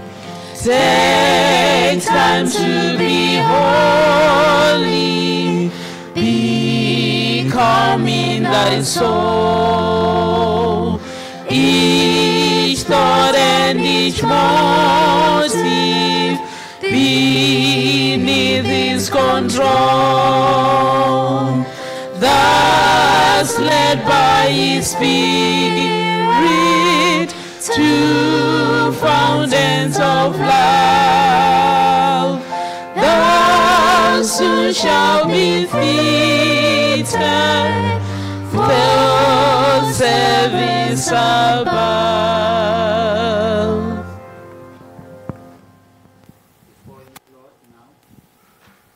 we stand looking to take this time to be holy, looking to take this time to be like you, looking, Lord, for a change that can only come from you, a true change that works from within to show without. If our friends may in our conduct see you living, it is this moment when you change us that shall make that possible. Change us, Lord, we pray. Touch us, Lord, and make us wholly yours. Dispel all the darkness that enshrouds us. Take away the heart of stone that knows not to love, that knows not to feel your presence, that knows not to hear you speak, and replace it, Lord, with your own heart that knows to hear your voice, so that, like your many sheep, we may hear your voice. That when you speak to us, we may melt away and become one with you. We know, Lord, hope is only found in you. Help us to find you now so that we can find hope. Help us to open our hearts to you and you find a place to abide in us. Cast away the throne of the evil one who forever sits in our heart to prompt us to do all that is evil, all that is bad. Take him away, Lord. We confess, we surrender, we admit, we seek, we desire, we long for, we cry for, we wish for, we pray for. Please, Lord, fill us now and live in us. Be our Lord and Savior, our Master and King, our love, eternity, our peace, our hope, our guide. And Lord, be our stay, that in you we may abide for good and bear much fruit. In Jesus' name we pray. Amen.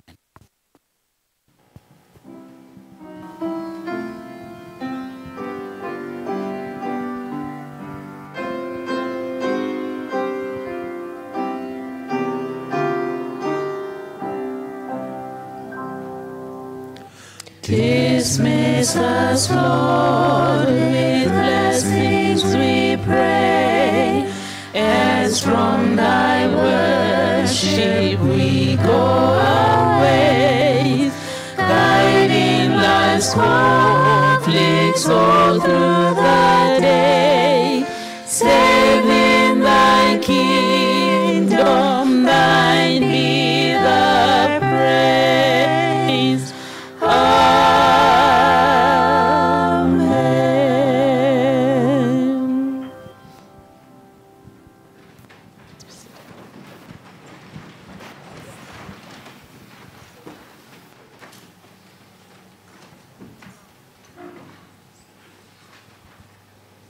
A reminder to our visitors, we have lunch together. Please don't go. We want to eat with you. So we're going to meet in the hall.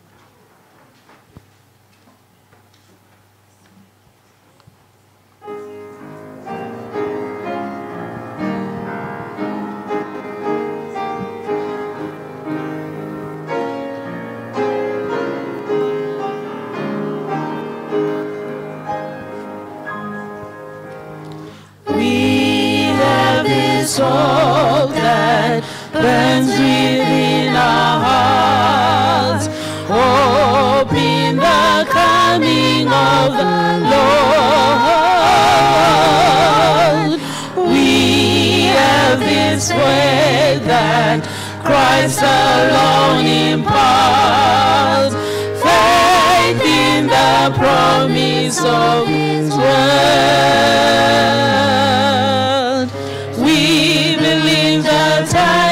Time when the nations far and near shall awake and shout and sing, Hallelujah, Christ is King. We have this hope that burns within our hearts, hope in the coming of the Lord.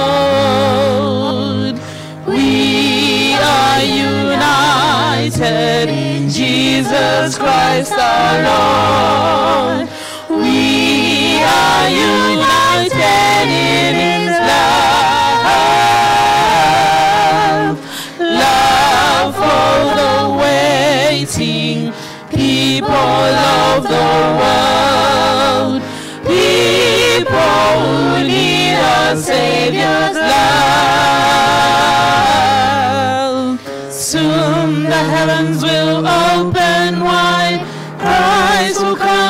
to claim His bride. All the universe will sing, Hallelujah, Christ is King.